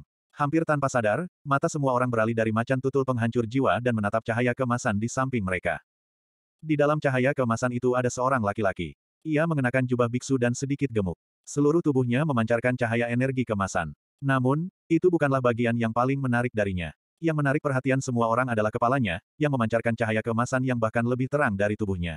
Cahaya kemasan itu begitu menyilaukan hingga hampir menyilaukan. Orang yang datang adalah seorang pendeta botak. Setelah diselamatkan oleh manusia, semua orang menghela napas lega. Namun, sebelum mereka bisa mengungkapkan rasa terima kasih mereka, biksu botak itu telah menyerang macan tutul penghancur jiwa. Serangannya relatif sederhana, dan semua kultivator inti esensi melihatnya dengan jelas. Mereka hanya menghindar ke samping dan menyerang. Sosok biksu botak itu melintas dan muncul di depan macan tutul penghancur jiwa. Kemudian, dia menepukkan telapak tangannya ke kepala macan tutul penghancur jiwa yang besar. Cahaya keemasan yang tak terbatas melintas seperti air laut keemasan yang menetes ke bawah. Menghadapi serangan sederhana seperti itu, macan tutul penghancur jiwa tampak telah menjadi seperti yang lain sebelumnya. Ia tidak dapat bergerak dan hanya bisa bertahan. Ia hanya bisa menyaksikan dengan ngeri dan putus asa saat telapak tangan mendarat di kepalanya. Ledakan. Telapak tangan emas mendarat di kepala macan tutul penghancur jiwa. Kekuatan telapak tangan yang besar langsung membuat macan tutul penghancur jiwa melayang. Tubuh besar macan tutul penghancur jiwa menabrak beberapa pohon kuno dan berguling beberapa kali di tanah sebelum berhenti bergerak. Para kultivator inti esensi lainnya melihat pemandangan ini dengan kaget. Kemudian, mereka melepaskan indera spiritual mereka untuk merasakan situasi macan tutul penghancur jiwa. Kemudian, mereka semua membuka mulut lebar-lebar dan wajah mereka dipenuhi dengan keterkejutan yang tak terbayangkan. Mati. Macan tutul penghancur jiwa, yang begitu kuat hingga dapat membantai seluruh tim mereka, sebenarnya sudah mati. Terlebih lagi, ia terbunuh oleh serangan telapak tangan. Kekuatan tempur seperti itu hampir membuat semua orang ketakutan lagi. Pada saat ini, mereka tidak tahu harus berkata apa. Mata mereka semua tertuju pada biksu botak itu dan tidak bisa bergerak untuk waktu yang lama. Setelah membunuh macan tutul penghancur jiwa, biksu botak itu berjalan langsung ke macan tutul penghancur jiwa. Cahaya keemasan di tangannya menyala lagi dan macan tutul penghancur jiwa menghilang. Kemudian, biksu botak itu berbalik dan menatap para kultivator intisari. Dalam cahaya keemasan, para kultivator intisari melihat sepasang mata yang tenang, seolah membunuh macan tutul penghancur jiwa merupakan hal yang sangat biasa. Terima kasih telah menyelamatkan kami, Tuan. Semua orang bereaksi satu demi satu dan dengan cepat mengucapkan terima kasih kepadanya. Biksu botak itu melambaikan tangannya dan berkata, kau tidak perlu berterima kasih padaku. Kau hanya perlu menjawab satu pertanyaanku. Silakan bertanya, Tuan. Kami akan memberitahu Anda semua yang kami ketahui, kata kultivator inti esensi tingkat menengah itu dengan hormat sambil berjalan mendekat dengan bantuan orang lain. Kudengar bahwa Master Pavilion Barbar Surgawi Zichen telah menerobos dan kembali. Benarkah itu? Tanya biksu botak itu. Ya, Tuan. Zichen telah menerobos dan kembali. Selain itu, dia akan segera bertunangan dengan Sangguan Yue, er dari keluarga Sangguan. Wakil Master Pavilion Wang Qiong juga akan terhubung dengan keluarga Wu melalui pernikahan. Kultivator inti esensi tingkat menengah itu mengatakan semua yang dia ketahui. Tanpa menunggu biksu botak itu melanjutkan pertanyaannya, dia mengatakan banyak hal tentang pavilion barbar surgawi baru-baru ini. Haha, aku tahu kau tidak akan mati. Seperti yang kuduga, kau tidak mengecewakanku. Huh, tepat saat aku merasa kesepian, kau muncul, seru biksu botak itu. Ada senyum gembira yang jelas terlihat di wajahnya. Aku benar-benar ingin melihat seberapa kuat dirimu setelah menerobos. Selain itu, pavilion barbar surgawi memiliki dua hal baik berturut-turut. Aku harus kembali dan melihatnya. Biksu botak itu menggelengkan kepalanya dan tertawa. Nasib memang membodohi orang. Aku tidak menyangka bahwa orang pertama yang bertunangan dengan si Chen adalah Sangguan Yuer. Kemudian, biksu botak itu menatap para pembudidaya intisari. Kalian sebaiknya tidak maju. Ada orang-orang dari gurun di sana. Berhati-hatilah agar tidak kehilangan nyawa. Terima kasih telah memberitahu kami, Tuan. Kami akan kembali sekarang dan menunggu orang-orang kuat dari keluarga kami untuk datang membantu kami, kata kultivator inti esensi tingkat menengah itu dengan penuh rasa terima kasih. Biksu botak itu melambaikan tangannya dan pergi dengan cepat. Dia meninggalkan tempat itu. Tuan, siapakah biksu botak tadi? Dari apa yang dia katakan, mungkinkah dia dari pavilion barbar surgawi? Namun, pavilion barbar surgawi seharusnya tidak memiliki orang sekuat itu, seorang kultivator inti esensi bertanya dengan rasa ingin tahu. Kultivator inti esensi tingkat menengah menoleh dan melihat banyak kultivator inti esensi yang kebingungan. Dia mendengus dan berkata, sudah berapa lama kalian menembus level inti esensi? Apa yang kalian tahu? Siapa bilang pavilion barbar surgawi tidak memiliki orang kuat? Hanya saja semua orang kuat telah pergi. Ketika Zichen pertama kali mendirikan pavilion barbar surgawi, dia adalah musuh semua kekuatan di negeri Betlam. Namun, dia mampu menghancurkan serangan semua kekuatan itu berkali-kali. Bahkan para penguasa menderita kerugian besar di tangan pavilion barbar surgawi. Fakta bahwa pavilion barbar surgawi tidak memiliki orang kuat hanyalah ilusi. Itu karena semua orang kuat telah pergi berlatih. Selama mereka semua kembali, pavilion barbar surgawi akan menjadi kekuatan penguasa. Pavilion barbar surgawi masih memiliki orang-orang kuat seperti itu. Mata semua orang terbelalak. Apakah kamu melihat orang itu tadi? Kalau tidak salah, dia pasti biksu baik dan jahat. Kekuatan tempurnya tidak lebih lemah dari pemimpin pavilion Si Chen. Di antara orang-orang kuat yang pergi berlatih di pavilion barbar surgawi, konon jumlahnya tidak kurang dari empat orang. Kultivator inti esensi tahap tengah memandang semua orang dan berkata, ketika pemimpin pavilion Zichen berada di tahap lanjut alam udara kekaisaran, dia sudah bisa membunuh seorang kultivator inti esensi tahap tengah. Sekarang setelah dia berhasil menembus pemenuhan agung alam udara kekaisaran dan mencapai tahap awal inti esensi primal, kekuatan tempurnya telah meningkat pesat. Tidak sulit baginya untuk membunuh seorang kultivator inti esensi primal tahap akhir. Dengan enam orang kuat yang dapat membunuh kultivator inti esensi primal tahap akhir dan satu orang kuat yang telah melampaui kultivator inti esensi primal, tidak ada kekuatan yang dapat menekan pavilion barbar surgawi. Ketika semua orang mendengar ini, mereka mengangguk karena terkejut. Tanpa disadari, pavilion barbar surgawi telah menjadi kekuatan penguasa. Di daerah ini, seiring tersebarnya berita tentang Zichen, semakin banyak orang mulai memperhatikan pavilion barbar surgawi. Zichen telah berhasil dan kembali. Dia ingin bertunangan. Di kedalaman hutan lebat, seekor kera iblis yang tinggi segera meninggalkan binatang purba setelah mendengar berita ini. Ia berdiri dan kembali, langsung menuju portal teleportasi. Ketika kera iblis mencapai portal teleportasi, ia disangka sebagai binatang buas purba oleh sekelompok manusia yang menjaga portal tersebut. Itu binatang purba. Beraninya dia menerobos masuk ke sini.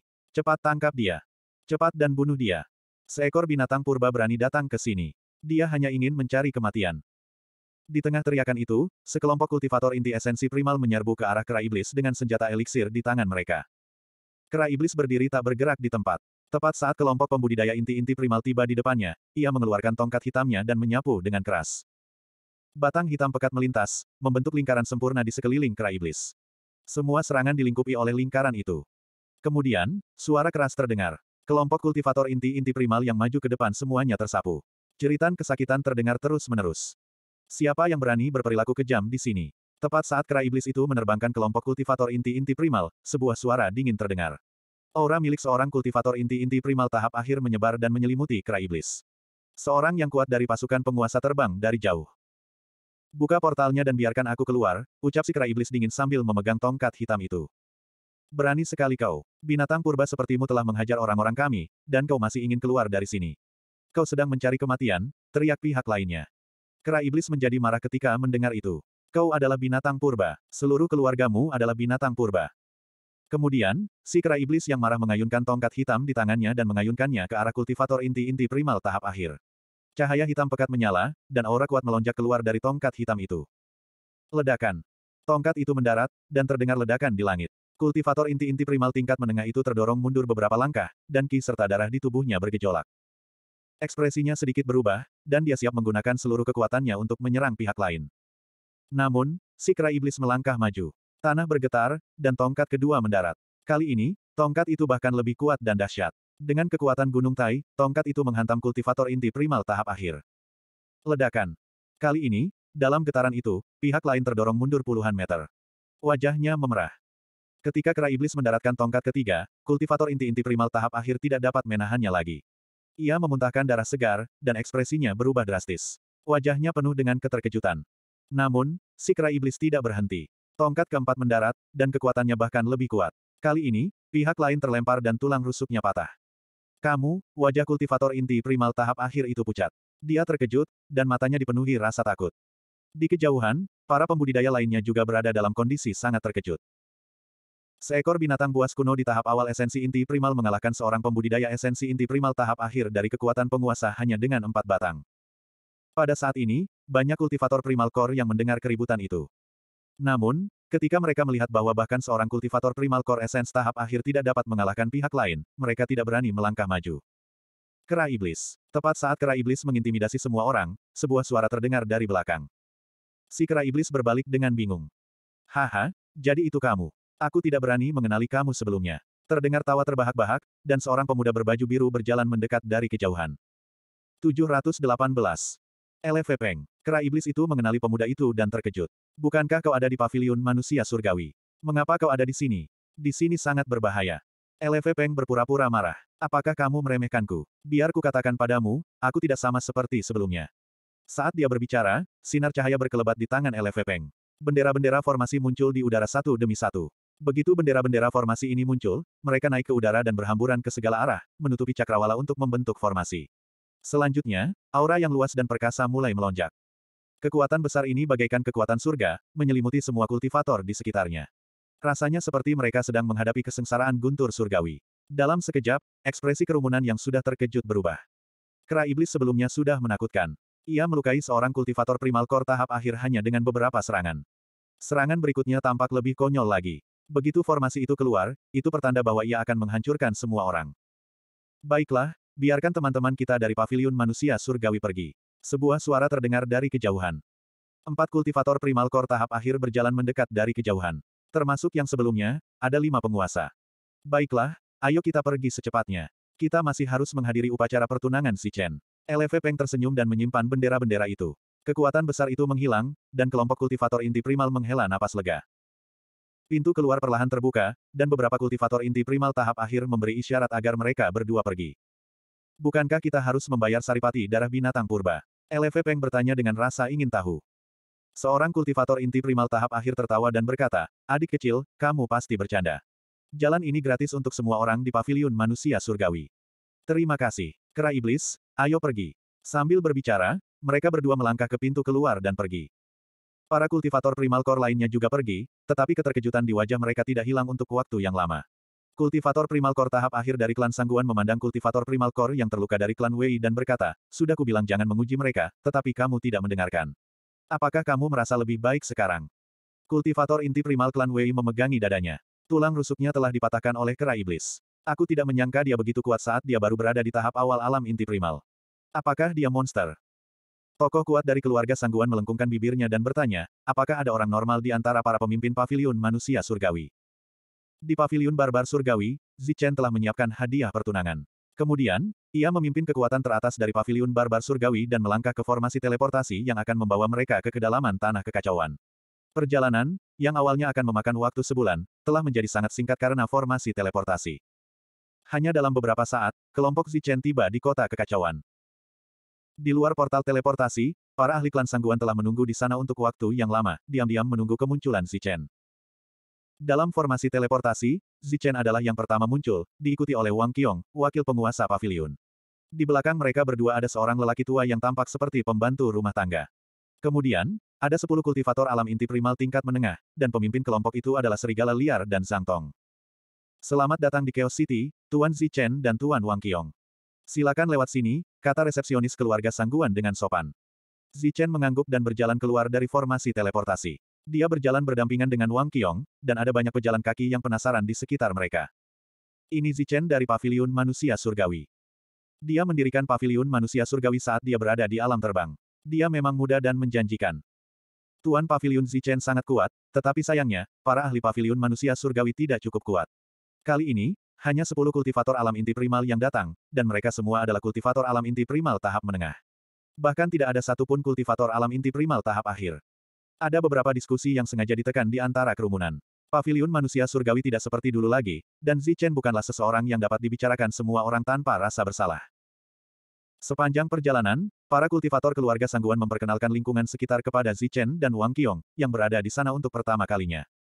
Orang yang datang itu jelas seorang resepsionis. Sepanjang jalan, selain menanyakan keadaan mereka, dia tidak mengatakan apa pun tentang tujuan kedatangan Zichen. Tak lama kemudian rombongan itu sampai di pintu masuk rumah keluarga Sangguan. Beberapa anggota penting keluarga Sangguan telah tiba dan menunggu di pintu. Sangguan Fei Xiong dan Sangguan Fei Lin memimpin. Meskipun Sangguan Fei Lin telah dicopot dari jabatannya sebagai pemimpin keluarga, dia masih merupakan keturunan langsung keluarga dan memegang kekuasaan sesungguhnya. Zichen menyapa para senior. Di bawah bimbingan resepsionis, Zichen melangkah maju dan membungkuk kepada para senior. Dia tersenyum hangat saat dia melirik semua orang satu persatu, lalu mendarat di Sangguan Fei Lin. Melihat senyum dan ekspresi Zichen, Sangguan Fei Lin merasa tidak nyaman. Ketika dia melihat ekspresi ini, dia akan berpikir tentang bagaimana Zichen memanggilnya saudara Feilin di depan begitu banyak orang kuat. Wang Qiong dan yang lainnya juga menangkupkan tangan mereka dan membungkuk kepada para petinggi keluarga Sangguan sebagai bentuk penghormatan. Di samping mereka berdua, sesepuh yang tampaknya adalah pengurus rumah tangga hanya mengangguk sedikit. Haha, Zichen, akhirnya kau datang juga. Kami sudah menunggumu begitu lama sampai kaki kami pegal karena berdiri, Sangguan Feixiong tertawa terbahak-bahak. Kemudian dia melangkah maju dua langkah dan menarik Zichen masuk ke gerbang keluarga Sangguan. Para senior lainnya juga tersenyum lebar saat ini. Bahkan mereka yang berusaha mempersulit Zichen pun tersenyum ramah, termasuk Sangguan Feilin. Adapun alasannya, bukan karena status Zichen, tetapi karena pembantu rumah tangga di samping Zichen. Dia adalah tetua Gui dari Paviliun Manusia Surgawi, seseorang yang telah melampaui level inti esensi. Dia sedikit melepaskan auranya, yang cukup untuk membuat semua orang memperlakukannya dengan hormat. Sangguan Fei Xiong menarik Zichen ke kediaman keluarga Sangguan dan memperkenalkan lingkungan itu kepadanya dengan penuh semangat. Dari ekspresinya, seolah-olah dia memperlakukan Zichen sebagai salah satu dari keluarganya. Munafik, Sangguan Feilin, yang mengikuti di belakang, melihat pemandangan ini dan merasa marah. Namun, sebelum dia bisa mengungkapkan ketidakpuasannya, dia merasakan getaran ki dari lubuk hatinya. Di depan semua orang, ada dua tetua yang berjalan cepat ke arah mereka. Sangguan Feilin kebetulan mengenal salah satu dari mereka. Itu adalah leluhurnya sendiri. Salam, dua leluhur. Sebelum dia bisa menebak identitas orang lain, beberapa senior membungkuk hormat. Sangguan Feilin terkejut. Jadi, kedua orang ini adalah leluhurnya sendiri. Haha, Zichen. Salah satu leluhur tertawa terbahak-bahak dan langsung menghampiri Zichen. Kemudian dia menarik Zichen dengan sangat ramah dan memperkenalkannya kepada lelaki tua lainnya.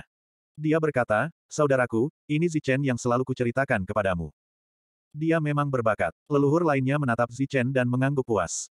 Zichen agak malu. Dia datang ke sini untuk bertunangan dengan Yue, Er, dan ada banyak generasi di antara mereka.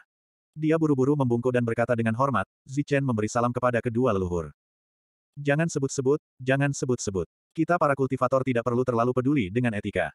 Kedua leluhur itu sangat mudah diajak bicara. Para leluhur, izinkan saya memperkenalkan Anda. Ini adalah Tetua Agung Paviliun Barbar Surgawi, Tetua Gui. Keduanya sangat sopan begitu mereka muncul. Zichen bukan orang bodoh. Dia tahu bahwa mereka melakukan ini untuk tetua Gui. Salam, salah satu leluhur membungkuk kepada kura-kura tua itu, tetapi tampaknya tidak tahu bagaimana menyapanya. Tampaknya tidak pantas memanggilnya, Tuan, pada kesempatan seperti itu. Mari kita panggil satu sama lain saudara. Aku lebih tua darimu, jadi panggil saja aku saudara Gui. Kura-kura tua itu tersenyum dan melambaikan tangannya. Kalau begitu, mari kita sambut saudara Gui. Ini kakak laki-laki saya, Sangguan Hongde. Sangguan Hongwu memperkenalkan diri, lalu Sangguan Hongde membungkuk. Begitu saja, kedua belah pihak bertemu dan saling mengenal. Kemudian, Sangguan Fei Xiong tidak bisa berbuat apa-apa. Dia hanya bisa mengikuti di belakang mereka. Di depan mereka ada tiga kultivator di luar alam inti dan Zichen. Total ada empat orang. Keluarga Sangguan memang penuh dengan naga tersembunyi dan harimau berjongkok. Tetua Gui tiba-tiba mendesah saat mereka mendekati aula utama. Keluarga Sangguan memang penuh dengan naga tersembunyi dan harimau berjongkok. Senyum di wajah mereka tidak memudar, tetapi mereka tahu bahwa pihak lain telah merasakannya. Setelah memasuki aula utama, Sangguan Hongde dan Tetua Gui duduk di sisi kiri dan kanan aula utama. Di satu sisi Tetua Gui berdiri Zichen, Wang Qiong, Ye Lang, Zhang Tong, dan delapan kultivator inti tingkat menengah lainnya. Di sisi lain ada Sangguan Hongwu, Sangguan Fei Xiong, Fei Lin, dan beberapa senior. Setelah mereka duduk, seseorang menyajikan teh dan makanan ringan. Klan Sangguan menjamu tamu mereka dengan teh dan makanan ringan terbaik. Ketiga kultivator di luar alam inti itu mengobrol dengan gembira. Kadang-kadang, mereka tertawa terbahak-bahak. Di bawah mereka, yang lain juga tersenyum. Ketika ketiganya hampir selesai mengobrol, Zichen berdiri dan memberitahu mereka tujuan kunjungannya. Ini jelas merupakan masalah serius. Tiga kultivator terkuat tidak dapat membuat keputusan, jadi mereka menyerahkan keputusan tersebut kepada Sangguan Feixiong. Sangguan Feixiong adalah satu-satunya yang dapat membuat keputusan. Sangguan Feixiong mengangguk dan berdiri. Ia berkata kepada tiga kultivator terkuat, kita sudah mempersiapkan pertunangan ini. Kita bahkan sudah menentukan tanggalnya. Pertunangan ini bisa dilaksanakan dalam sembilan hari. Saudara Gui, bagaimana menurutmu? Sangguan Hongde menatap tetua Gui. Ini urusan anak muda. Kita harus membiarkan anak muda itu memutuskan sendiri. Selama Zichen menganggapnya baik. Kura-kura tua itu terkekeh. Saya tidak keberatan. Sembilan hari lagi. Sebelum saya datang, saya sudah menyiapkan hadiah kecil. Saya harap Anda bisa menerimanya, kata Zichen dan memberi isyarat kepada Zhang Tong untuk mengeluarkan hadiah itu. Haha, Master Pavilion Chen, dengan statusmu, bagaimana mungkin kau mengeluarkan hadiah kecil? Bahkan jika itu hadiah kecil, itu pasti akan membuka mata. Suara tawa terdengar dari luar aula. Kemudian, terdengar suara langkah kaki. Seorang lelaki tua berjalan masuk dari luar aula. Totalnya ada delapan orang. Chen pernah melihat empat dari mereka sebelumnya. Mereka semua adalah kultivator di luar alam inti. Sedangkan untuk empat lainnya, energi spiritual mereka juga seharusnya berada di luar alam inti. Dengan cara ini, ada sebelas kultivator di luar alam inti di aula tersebut. Di pihak Zichen, hanya ada satu. Apakah ini unjuk kekuatan? Ekspresi Zichen tidak berubah, tetapi dia menebak dalam hatinya. Dia menatap kura-kura tua itu. Ekspresi kura-kura tua itu tidak berubah. Masih ada senyum tipis di wajahnya. Saudara Gui, Saudara Hongde, mohon jangan ganggu kami. Kami baru saja mendengar bahwa Master Pavilion Zichen telah berhasil menerobos dan ingin datang dan melihat-lihat. Beberapa dari mereka saling menggenggam tangan setelah memasuki aula. Tidak apa-apa. Semakin banyak semakin meriah. Kura-kura tua itu tersenyum. Karena saudara Gui tidak keberatan, klan Sangguan tentu saja tidak keberatan. Karena semua orang ada di sini, aku tidak akan mengundangmu ke upacara pertunangan. Sangguan Hongde tertawa. Kemudian, kelompok kultivator di luar alam inti duduk. 719. Apakah dia melakukan ini dengan sengaja? Semua orang menatap Zichen. Sepuluh dari mereka telah melampaui alam eliksir, yang membuat Zichen merasa bahwa semua orang melakukan ini dengan sengaja. Bahkan jika kekuatan-kekuatan besar beraliansi, mereka akan selalu ingin melihat satu sama lain menderita kerugian. Itulah kekuatan-kekuatan-kekuatan besar. Akan selalu ada persaingan, dan pertikaian internal tidak akan pernah berhenti. Pada saat ini, di hadapan banyak orang, jika Zichen mengeluarkan hadiah pertunangan yang buruk, dia tidak hanya akan mempermalukan pavilion manusia surgawi, tetapi dia juga akan mempermalukan keluarga Sangguan dan tetua Gui. Tetapi sekarang keadaan sudah seperti ini, sudah terlambat untuk bersiap. Zhang Tong, keluarkan hadiah pertunanganmu. Zichen menoleh dan menatap Zhang Tong. Zhang Tong mengangguk dan berdiri. Haha, kami juga ingin melihat hadiah pertunangan seperti apa yang akan dibawa Zichen. Semua orang tertawa, dan suasana di aula menjadi sangat ramai. Zichen tersenyum dan berkata, pavilion manusia surgawi baru saja didirikan, dan kita tidak memiliki fondasi yang baik. Tentu saja, hadiah yang kita berikan tidak baik. Tolong jangan menertawakannya. Ini untuk memberitahu semua orang. Semua orang tertawa dan berkata bahwa mereka tidak akan melakukannya. Anggota keluarga Sangguan lainnya bahkan mengatakan bahwa Zichen dan Sangguan Yue, Er saling mencintai, dan tidak masalah bahkan jika dia tidak mengeluarkan hadiah pertunangan. Setelah itu, Zhang Tong mengeluarkan hadiah pertunangan. Hal pertama yang dikeluarkannya adalah 50 botol giok merah yang dibuat dengan sangat indah. Warna merah melambangkan kegembiraan, dan permukaan botol giok tersebut diukir dengan gambar naga dan burung phoenix, yang menunjukkan bahwa naga dan burung phoenix adalah sepasang. Tentu saja benda-benda ini dibuat khusus untuk pertunangan ini. Ini adalah pil vitalitas darah. Ada 10 pil di setiap botol, jadi totalnya ada 50 botol, jelas si Chen. Setelah botol-botol giok dikeluarkan, para dayang cantik maju ke depan sambil membawa nampan giok merah. Setiap nampan dapat menampung 10 botol giok, dan lima dayang berdiri di samping sambil membawa nampan. Semua orang mengangguk, tetapi mereka memperkirakan nilai pil vitalitas darah ini. Jika satu pil dijual seharga 30 ribu batu vitalitas, maka 500 pil akan bernilai 15 juta batu vitalitas kelas atas. Cahaya kembali menyala di tangan Zhang Tong, dan botol giok yang sama muncul. Semuanya indah, Tetapi kali ini hanya ada 20 botol giok merah. Dua pelayan masuk dan berdiri di kedua sisi, dan 20 botol giok diletakkan di dua nampan giok. Ini adalah pil penyembuhan darah. Setiap botol berisi 5 pil, jadi totalnya ada 20 botol. 20 botol pil penyembuhan darah, dan ada 100 pil di setiap botol. Jika setiap pil bernilai 100 ribu, itu akan menjadi 10 juta. Kemudian, Zhang Tong mengeluarkan 20 botol giok lainnya. Ini adalah pil ledakan darah berkualitas tinggi. Satu pil per botol, totalnya ada 20 pil. Harga tertinggi pil ledakan darah dalam pelelangan saat itu adalah 3 juta per pil. Meskipun sekarang ada dunia binatang kuno dan binatang kuno tidak lagi langka, harga pil ledakan darah masih lebih dari 2 juta. Jumlah semuanya 20, artinya nilainya lebih dari 40 juta. Ekspresi anggota keluarga Sangguan yang sebelumnya tenang, mulai berubah setelah pil dikeluarkan. Adapun Sangguan Fei Xiong, dia bahkan tidak berusaha menyembunyikan kegembiraan di wajahnya. Untuk keempat kalinya, Zhang Tong mengeluarkan botol giok lainnya. Kali ini, hanya ada lima botol. Ini adalah pil yang sangat berharga. Satu pil per botol, totalnya lima pil. Total harga kelima pil ini adalah puluhan juta. Karena dunia binatang kuno akan segera dibuka, harga pil ini akan menjadi lebih tinggi lagi. Total harga keempat jenis pil itu lebih dari 100 juta. Ini adalah jumlah yang sangat besar. Semua orang tidak dapat menahan diri untuk tidak mendesah melihat betapa kaya dan banyak akalnya si Chen. Hanya benda-benda ini sebagai hadiah pertunangan saja sudah cukup untuk memberi wajah paviliun barbar surgawi. Namun, hadiah pertunangan belum berakhir. Pada saat berikutnya, benda lain muncul di depan Sang Tong. Benda ini memancarkan cahaya terang dan menyilaukan. Ini hanyalah senjata ajaib, tetapi aura yang dipancarkannya tidak lebih lemah dari fondasi. Begitu muncul, semua orang terkejut. Dengan penglihatan mereka, mereka secara alami dapat mengetahui bahwa ini adalah senjata ramuan tingkat tinggi. Senjata eliksir tingkat tertinggi berada di urutan kedua setelah fondasi. Senjata ini sangat menarik bagi mereka yang berada di alam inti asal. Pedang ini memancarkan cahaya warna-warni. Pedang ini tipis dan panjang, dan lebih cocok untuk wanita. Cahaya terang dan aura menindas yang dipancarkannya memberitahu semua orang bahwa itu adalah senjata ramuan tingkat tinggi. Itu sebenarnya senjata ajaib tingkat tinggi. Paviliun barbar surgawi benar-benar murah hati. Semua orang mendesah. Anggota keluarga Sangguan sangat gembira. Tepat saat pelayan wanita itu mengambil piring giok dan membawa senjata ramuan bermutu tinggi itu, cahaya terang muncul di depan Zhang Tong lagi.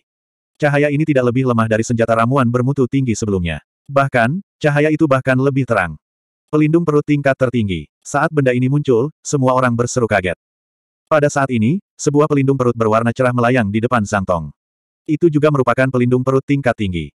Barang ini awalnya dijual untuk batu primordial kelas tertinggi. Namun, semua orang tahu bahwa paviliun barbar surgawi tidak ingin menjual pelindung perut semacam ini. Namun, mereka tidak menyangka bahwa kali ini, Zichen benar-benar akan menggunakan pelindung perut tingkat ini sebagai hadiah pertunangan. Senjata ramuan bermutu tinggi dan pelindung perut bermutu tinggi. Kedua benda ini jauh lebih berharga daripada ramuan lainnya. Anggota keluarga Sangguan sangat gembira. Adapun keluarga lain yang telah melampaui tahap asal ramuan, mereka juga terkejut. Karena kamu sudah di sini, mengapa kamu membawa hadiah pertunangan? Melihat hadiah pertunangan berwarna cerah yang menerangi seluruh aula, Sangguan Hongde juga sangat gembira. Tentu saja, alasan kebahagiaannya adalah karena Zi Chen telah membantunya mendapatkan muka. Master Pavilion Zi Chen benar-benar murah hati. Semua orang mendesah. Kata-kata ini datang dari lubuk hati mereka. Hadiah pertunangan yang diberikan oleh Zichen tentu saja membuat anggota keluarga Sangguan sangat puas. Tanpa disadari, mereka yang sudah antusias, menjadi semakin antusias dalam perkataan mereka. Setelah menerima hadiah pertunangan, semua orang terus mengobrol di aula. Kelompok ahli yang telah melampaui tahap asal eliksir tentu saja tidak datang hanya untuk melihat hadiah pertunangan Zichen untuk keluarga Sangguan. Sebaliknya, mereka benar-benar ingin melihat Zichen. Tentu saja, akan lebih tepat untuk mengatakan bahwa mereka ingin melihat dua jenis energi tertinggi. Setelah itu, sengaja atau tidak sengaja, beberapa di antara mereka mengungkapkan ingin melihat kecocokan kedua jenis energi tertinggi tersebut. Zichen tidak pelit dan berencana untuk menunjukkannya kepada semua orang. Namun, untuk menghilangkan pikiran aneh di hati mereka, dia berdiri dan berkata, sejujurnya, ketika saya mencoba membuat terobosan, saya siap untuk mati. Dengan dua jenis energi tertinggi, hampir mustahil untuk membentuk inti emas. Namun, terbukti bahwa itu memang jalan buntu. Jika bukan karena berbagai pertemuan kebetulan di sepanjang jalan, saya khawatir saya tidak akan bisa lolos dari kematian. Namun, meskipun begitu, saya tetap kehilangan anggota keluarga dan harta yang mengubah nasib saya. Setelah mengatakan itu, dua bola energi tertinggi muncul di tangan si Chen. Kemudian, sekelompok ahli yang telah melampaui tahap asal eliksir melepaskan indera spiritual mereka untuk merasakannya. Selama waktu ini, Chen juga bertukar dua jenis energi tertinggi sehingga semua orang dapat merasakannya dengan saksama. Pada saat yang sama, Zichen juga berbicara tentang bagaimana dia melawan aturan selama terobosannya. Setelah beberapa saat, wajah para ahli itu dipenuhi dengan keterkejutan. Lalu, mereka berkata, tidak dapat dipercaya.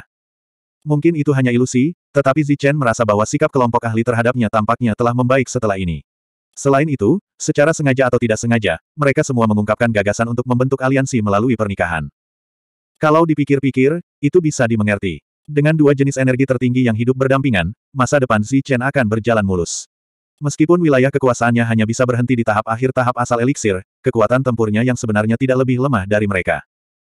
Lagi pula, siapa yang bisa mengatakan bahwa Zichen tidak mempunyai harapan untuk melangkah ke tahap asal fana di masa hidupnya? Dalam menghadapi keberadaan seperti itu, mereka hanya punya dua cara untuk menghadapinya. Yang pertama adalah membunuh Zichen terlebih dahulu dan mencekiknya di buayan sebelum ia dewasa.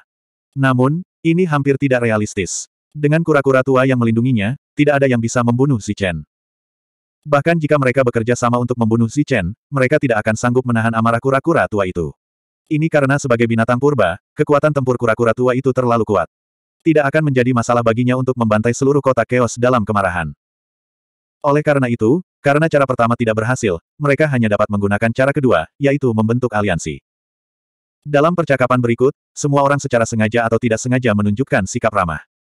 Tak lama kemudian, waktu makan malam pun tiba. Sangguan Hongde pun mengundang mereka, semuanya, karena kalian sudah di sini, mengapa kalian tidak tinggal untuk makan malam saja?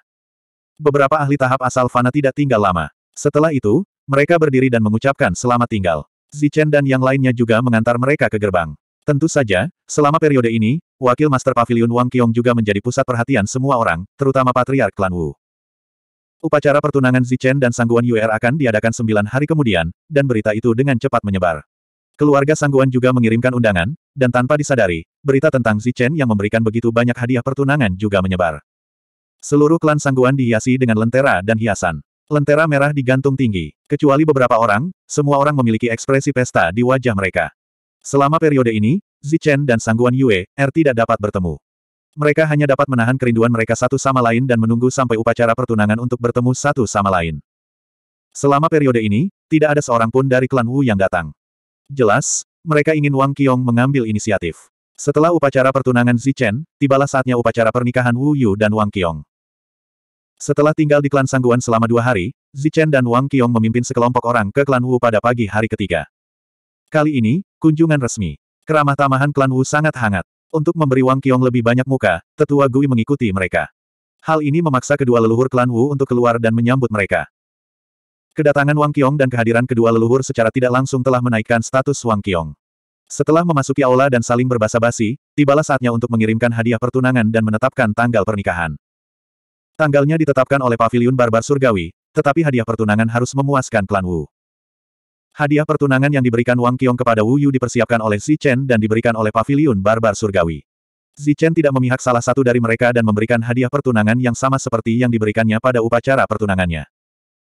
Kali ini, Wild Wolf mengeluarkan eliksir asal darah, eliksir harta karun, dan dua senjata eliksir tingkat tinggi untuk menyerang dan bertahan. Kali ini giliran klan Wu yang merasa bangga. Zichen juga menunjukkan kepada klan Wu bahwa status dan identitas Wang Qiong di Paviliun Barbar Surgawi sama dengannya. Setelah hadiah pertunangan senilai ratusan juta diberikan, klan Wu secara alami menyetujui pernikahan tersebut. Oleh karena itu, pernikahan Wang Qiong diputuskan oleh Paviliun Barbar Surgawi. Pernikahan tersebut diadakan di Paviliun Barbar Surgawi dua bulan kemudian.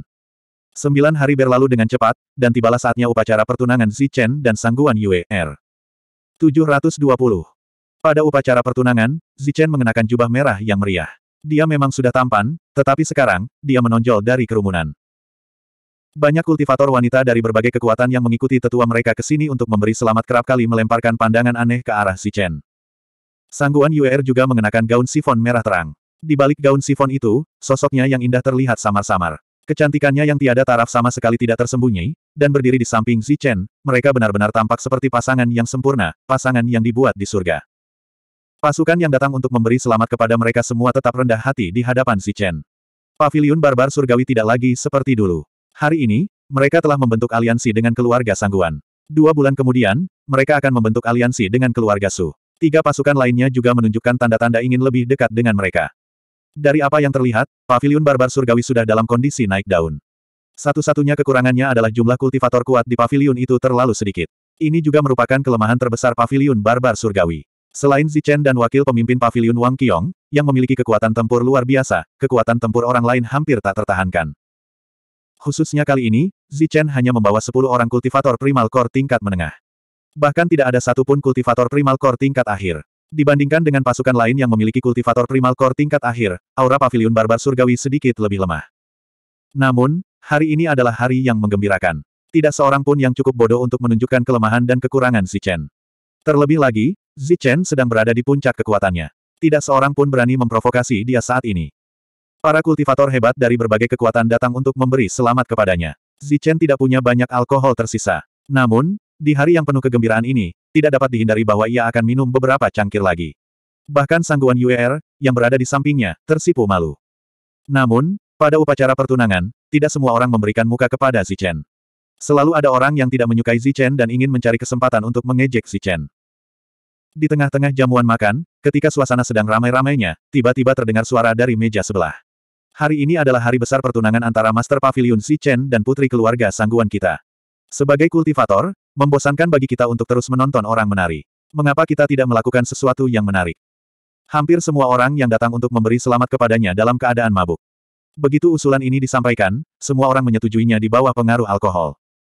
Ketika pavilion barbar surgawi dibuka hari itu, Master Pavilion Si Chen menyelenggarakan kompetisi yang sangat menarik.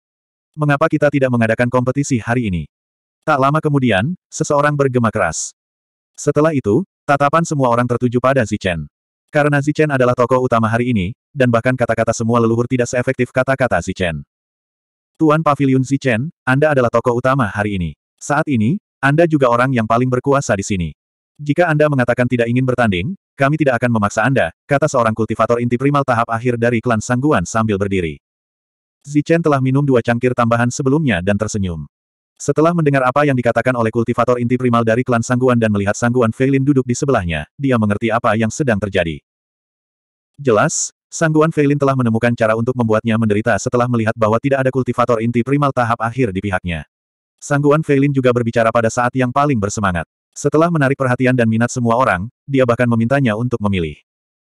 Jika dia memilih untuk tidak bertanding, itu sama saja dengan mengakui kekalahan. Jika dia kalah tanpa perlawanan, dia akan mempermalukan pavilion barbar surgawi. Jika dia memilih untuk bertanding, dia akan tetap kalah dan mempermalukan dirinya sendiri. Menurut Sangguan Feilin, karena dia tidak memiliki kemampuan untuk menghadapi Zichen, mempermalukannya juga merupakan hal yang baik. Tatapan semua orang tertuju pada Zichen. Setelah melihat sekeliling, Zichen tersenyum dan berkata, kompetisi. Tentu, tetapi aku tidak tahu siapa yang ingin bertarung denganku. Aku sudah tidak bertarung selama dua hari, jadi aku agak berkarat. Begitu dia mengatakan ini, sudut mulut semua orang berkedut. Ketika Zichen berada di tahap akhir alam Zephyr, dia sudah bisa membunuh kultivator di tahap tengah alam inti primal. Sekarang dia berada di tahap awal alam inti primal, dia diakui sebagai yang tak terkalahkan di antara para kultivator alam inti primal. Dalam situasi seperti itu, siapa pun yang berani bertarung dengan Zichen akan mencari masalah. Jawabannya adalah tidak. Tepat saat semua orang hendak menolak, kultivator klan Sangguan yang berbicara sebelumnya berkata, Master Pavilion Zichen, Anda pasti bercanda. Anda adalah tokoh utama hari ini. Bagaimana kami bisa membiarkan Anda bertarung? Lagi pula, kompetisi ini hanya untuk hiburan. Tidak ada hadiah. Kami hanya mengirim beberapa orang untuk berkompetisi dengan santai. Ini terutama untuk hiburan, jadi jangan menganggapnya serius. Benar sekali. Master Pavilion Zichen, tidak pantas bagimu untuk bertarung hari ini. Kirim saja beberapa orang untuk bertanding. Semua orang bereaksi dan berbicara dengan antusias. Sepertinya ini adalah sesuatu yang akan mempermalukan pavilion barbar surgawi. Mereka senang menonton dan berpartisipasi. Situasi saat ini tidak memungkinkan Zichen untuk menolak, jadi dia hanya bisa mengangguk dan setuju. Baiklah kalau begitu, bagaimana kita harus bertanding? Zichen bertanya sambil tersenyum, tetapi dia memikirkan tindakan balasan. Ada banyak kekuatan di sini. Jika kita bersaing dengan mereka semua, kita tidak akan bisa menang meskipun langit berubah gelap. Selain itu, Master Pavilion Zichen tidak membawa begitu banyak orang kali ini. Mengapa kita tidak mengirim satu orang saja untuk bersaing dengan bawahan Master Pavilion Zichen? Tentu saja, persaingan kita hanya untuk hiburan. Kita tidak harus menggunakan kekuatan penuh kita. Kali ini, Sangguan Feilin yang berbicara. Dia tersenyum ramah, tetapi ada senyum puas di matanya. Sangguan Fei Xiong dan yang lainnya ingin menghentikannya, tetapi sudah terlambat. Selain itu, mereka tampaknya tidak punya alasan untuk menghentikannya. Baiklah kalau begitu. Zichen berpura-pura tidak peduli. Kemudian, dia melirik serigala liar dan berkata, Serigala liar, kamu bisa naik. Serigala liar mengangguk dan meninggalkan tempat duduknya. Di sisi lain, kelima kekuatan telah sepakat, klan Sangguan akan mengirim seseorang untuk pertempuran pertama. Sangguan Feilin dengan santai memilih seorang kultivator inti primordial tahap akhir. Setelah kultivator itu berdiri, dia menangkupkan tinjunya ke arah Zichen. Zichen sedikit mengernyit. Seorang kultivator primordial core tingkat menengah melawan seorang kultivator primordial core tingkat akhir. Master Pavilion Zichen, maafkan aku. Mereka yang datang ke upacara pertunangan adalah junior atau kultivator primordial core tahap akhir. Jika Master Pavilion Zichen merasa itu tidak adil, kau bisa memintanya untuk menekan kekuatannya. Tentu saja, aku akan pergi ke pintu masuk dan meminta seorang kultivator primordial core tahap tengah untuk bertarung. Bagaimanapun, kita di sini hanya untuk hiburan, kata Sangguan Feilin. Kata-katanya dimaksudkan untuk mengejek pavilion barbar surgawi, yang benar-benar tidak menyenangkan. Di pihak pavilion barbar surgawi, kemarahan muncul di banyak wajah mereka. Zichen melambaikan tangannya dan berkata, tidak apa-apa. Serigala liar, silakan saja. Lakukan saja apa pun yang kau inginkan. Lokasi pertempuran tidak jauh dari tempat perjamuan. Rupanya, Sangguan Feilin sudah bersiap untuk itu. Wild Wolf dan para kultivator klan Sangguan berdiri di panggung pertempuran, saling berhadapan. Ada sebelas kultivator di alam asal fana yang hadir. Tentu saja, tidak perlu ada hakim. Oleh karena itu, pertempuran dimulai setelah sinyal diberikan. Karena kekuatan Wild Wolf lebih rendah dari lawannya, ia mengeluarkan senjata eliksir miliknya di awal pertempuran. Melihat senjata eliksir berkualitas tinggi di tangan Wild Wolf, semua orang terkejut. Kultivator inti primordial tahap tengah pavilion barbar surgawi diberi senjata ramuan berkualitas tinggi. Ini benar-benar murah hati. Namun, kemudian, terdengar seruan. Kultivator inti primordial tahap akhir klan Sangguan juga mengeluarkan senjata ramuan berkualitas tinggi. Oleh karena itu, semua orang dapat melihat bahwa ini disengaja. Tidak dapat dihindari bahwa pavilion barbar surgawi akan dikalahkan. Benar saja, dalam pertempuran berikutnya, Wild Wolf perlahan-lahan ditekan. Wujud asli Wild Wolf adalah serigala, tetapi saat ini, ia bertarung dalam wujud manusia. Ia sudah dalam posisi yang kurang menguntungkan. Terlebih lagi, Pertarungan ini hanyalah kompetisi persahabatan. Tidak perlu membunuh, jadi wajar saja jika Wild Wolf ditekan. Kedua belah pihak saling serang dan senjata ajaib mereka terus bertabrakan. Energi yang bergejolak terus menimbulkan kekacauan di medan pertempuran. Meskipun Wild Wolf ditekan, dia tidak menunjukkan tanda-tanda akan segera dikalahkan. Setelah lebih dari 300 gerakan, Wild Wolf yang kelelahan, terdorong mundur oleh serangan telapak tangan. Dia langsung menghantam perisai cahaya dan mengumumkan kekalahannya. Perisai cahaya di sekitar panggung pertempuran menghilang. Kultivator inti primordial klan Sangguan menyimpan senjata ramuannya dan mengakui kekalahan. Mata Wild Wolf bersinar dengan cahaya yang tajam. Dia tidak yakin, tetapi karena lawannya telah meninggalkan panggung pertempuran, dia hanya bisa pergi. Tuan, jika ini adalah pertarungan sampai mati, aku bisa membunuhnya. Wild Wolf berjalan di depan Zichen dan berkata dengan suara tak terkendali. Namun bagi yang lain, perkataan Wild Wolf sama sekali bukan karena amarah. Terlebih lagi, mereka mengira bahwa Wild Wolf mampu bertukar lebih dari 300 jurus dengan lawannya karena ia mempertimbangkan reputasi Pavilion Barbar Surgawi dan menunjukkan belas kasihan. Itu hanya pertempuran. Pavilion Barbar Surgawi kita kalah dalam pertempuran ini. Zichen melambaikan tangannya dan memberi isyarat kepada serigala liar untuk terus duduk. Semua orang mencibir dalam hati mereka. Ini memang pertempuran pertama, tetapi Pavilion Barbar Surgawi masih akan kalah dalam empat pertempuran berikutnya. Ketika saatnya tiba, mereka akan kalah dalam lima pertempuran berturut-turut. Mari kita lihat apakah ekspresi Zichen masih bisa setenang itu.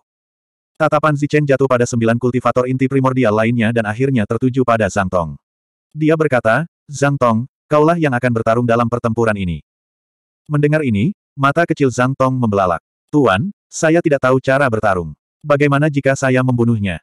Begitu dia mengatakan ini, dia langsung tertawa terbahak-bahak. Jelas, dia sedang membual. Rambut orang ini pendek dan pengetahuannya juga pendek. Sebagai seorang kultivator primordial core, dia berani mengatakan bahwa dia bisa membunuh seorang kultivator primordial core. Siapa dia? Berhenti saja ketika waktunya tepat, kata Zichen. Wajah Zhang Tong langsung berubah masam. Ia berkata, Tuan, saya tidak tahu bagaimana melakukannya. Saya akan menggunakan kekuatan penuh saya saat menyerang. Jika musuh tidak mati, saya yang akan mati. Zichen mengangguk lalu bertanya, klan mana yang menjadi lawanmu dalam pertempuran ini? Master Pavilion Zichen, ini klan Wu kita. Secara kebetulan, kita punya seorang kultivator inti primordial di sini. Kedua belah pihak bisa saling belajar, kata kultivator klan Wu. Jelas, dia ingin melindungi wajah pavilion barbar surgawi. Zichen menggelengkan kepalanya dan berkata, tidak perlu bertempur dalam pertempuran ini. Kita mengaku kalah. Kemudian dia menunjuk Zhang Tong dan berkata, dia benar-benar tidak punya kemampuan untuk bertarung. Karena tidak perlu bertarung, paling-paling hanya seri. Tidak bisa dianggap kalah, kata kultivator klan Wu. Lalu aku ingin tahu siapa Master Pavilion Chen yang akan dikirim untuk pertempuran ketiga. Sangguan Feilin bertanya lagi. Dia sangat terkejut dengan tindakan klan Wu. Dia jelas telah menghubungi orang-orang yang memiliki permusuhan langsung dengan Chen, tetapi klan Wu sekarang berbicara untuk Chen. Namun, ketiga klan lainnya pasti tidak akan melakukannya, Karena Zichen telah membunuh keturunan langsung mereka, seperti halnya putra sangguan Feilin yang telah dibunuh oleh Zichen. Zichen sedikit mengernyit. Dia benar-benar tidak memiliki siapa pun untuk dikirim dalam pertempuran ketiga. Meskipun para kultivator inti primordial ini luar biasa, itu hanya relatif terhadap mereka yang berada di level yang sama. Tampaknya mereka masih sedikit lemah saat bertarung melawan mereka yang berada di level yang lebih tinggi. Mungkinkah Master Pavilion Zichen tidak punya orang untuk diutus? Sangguan Feilin mencibir.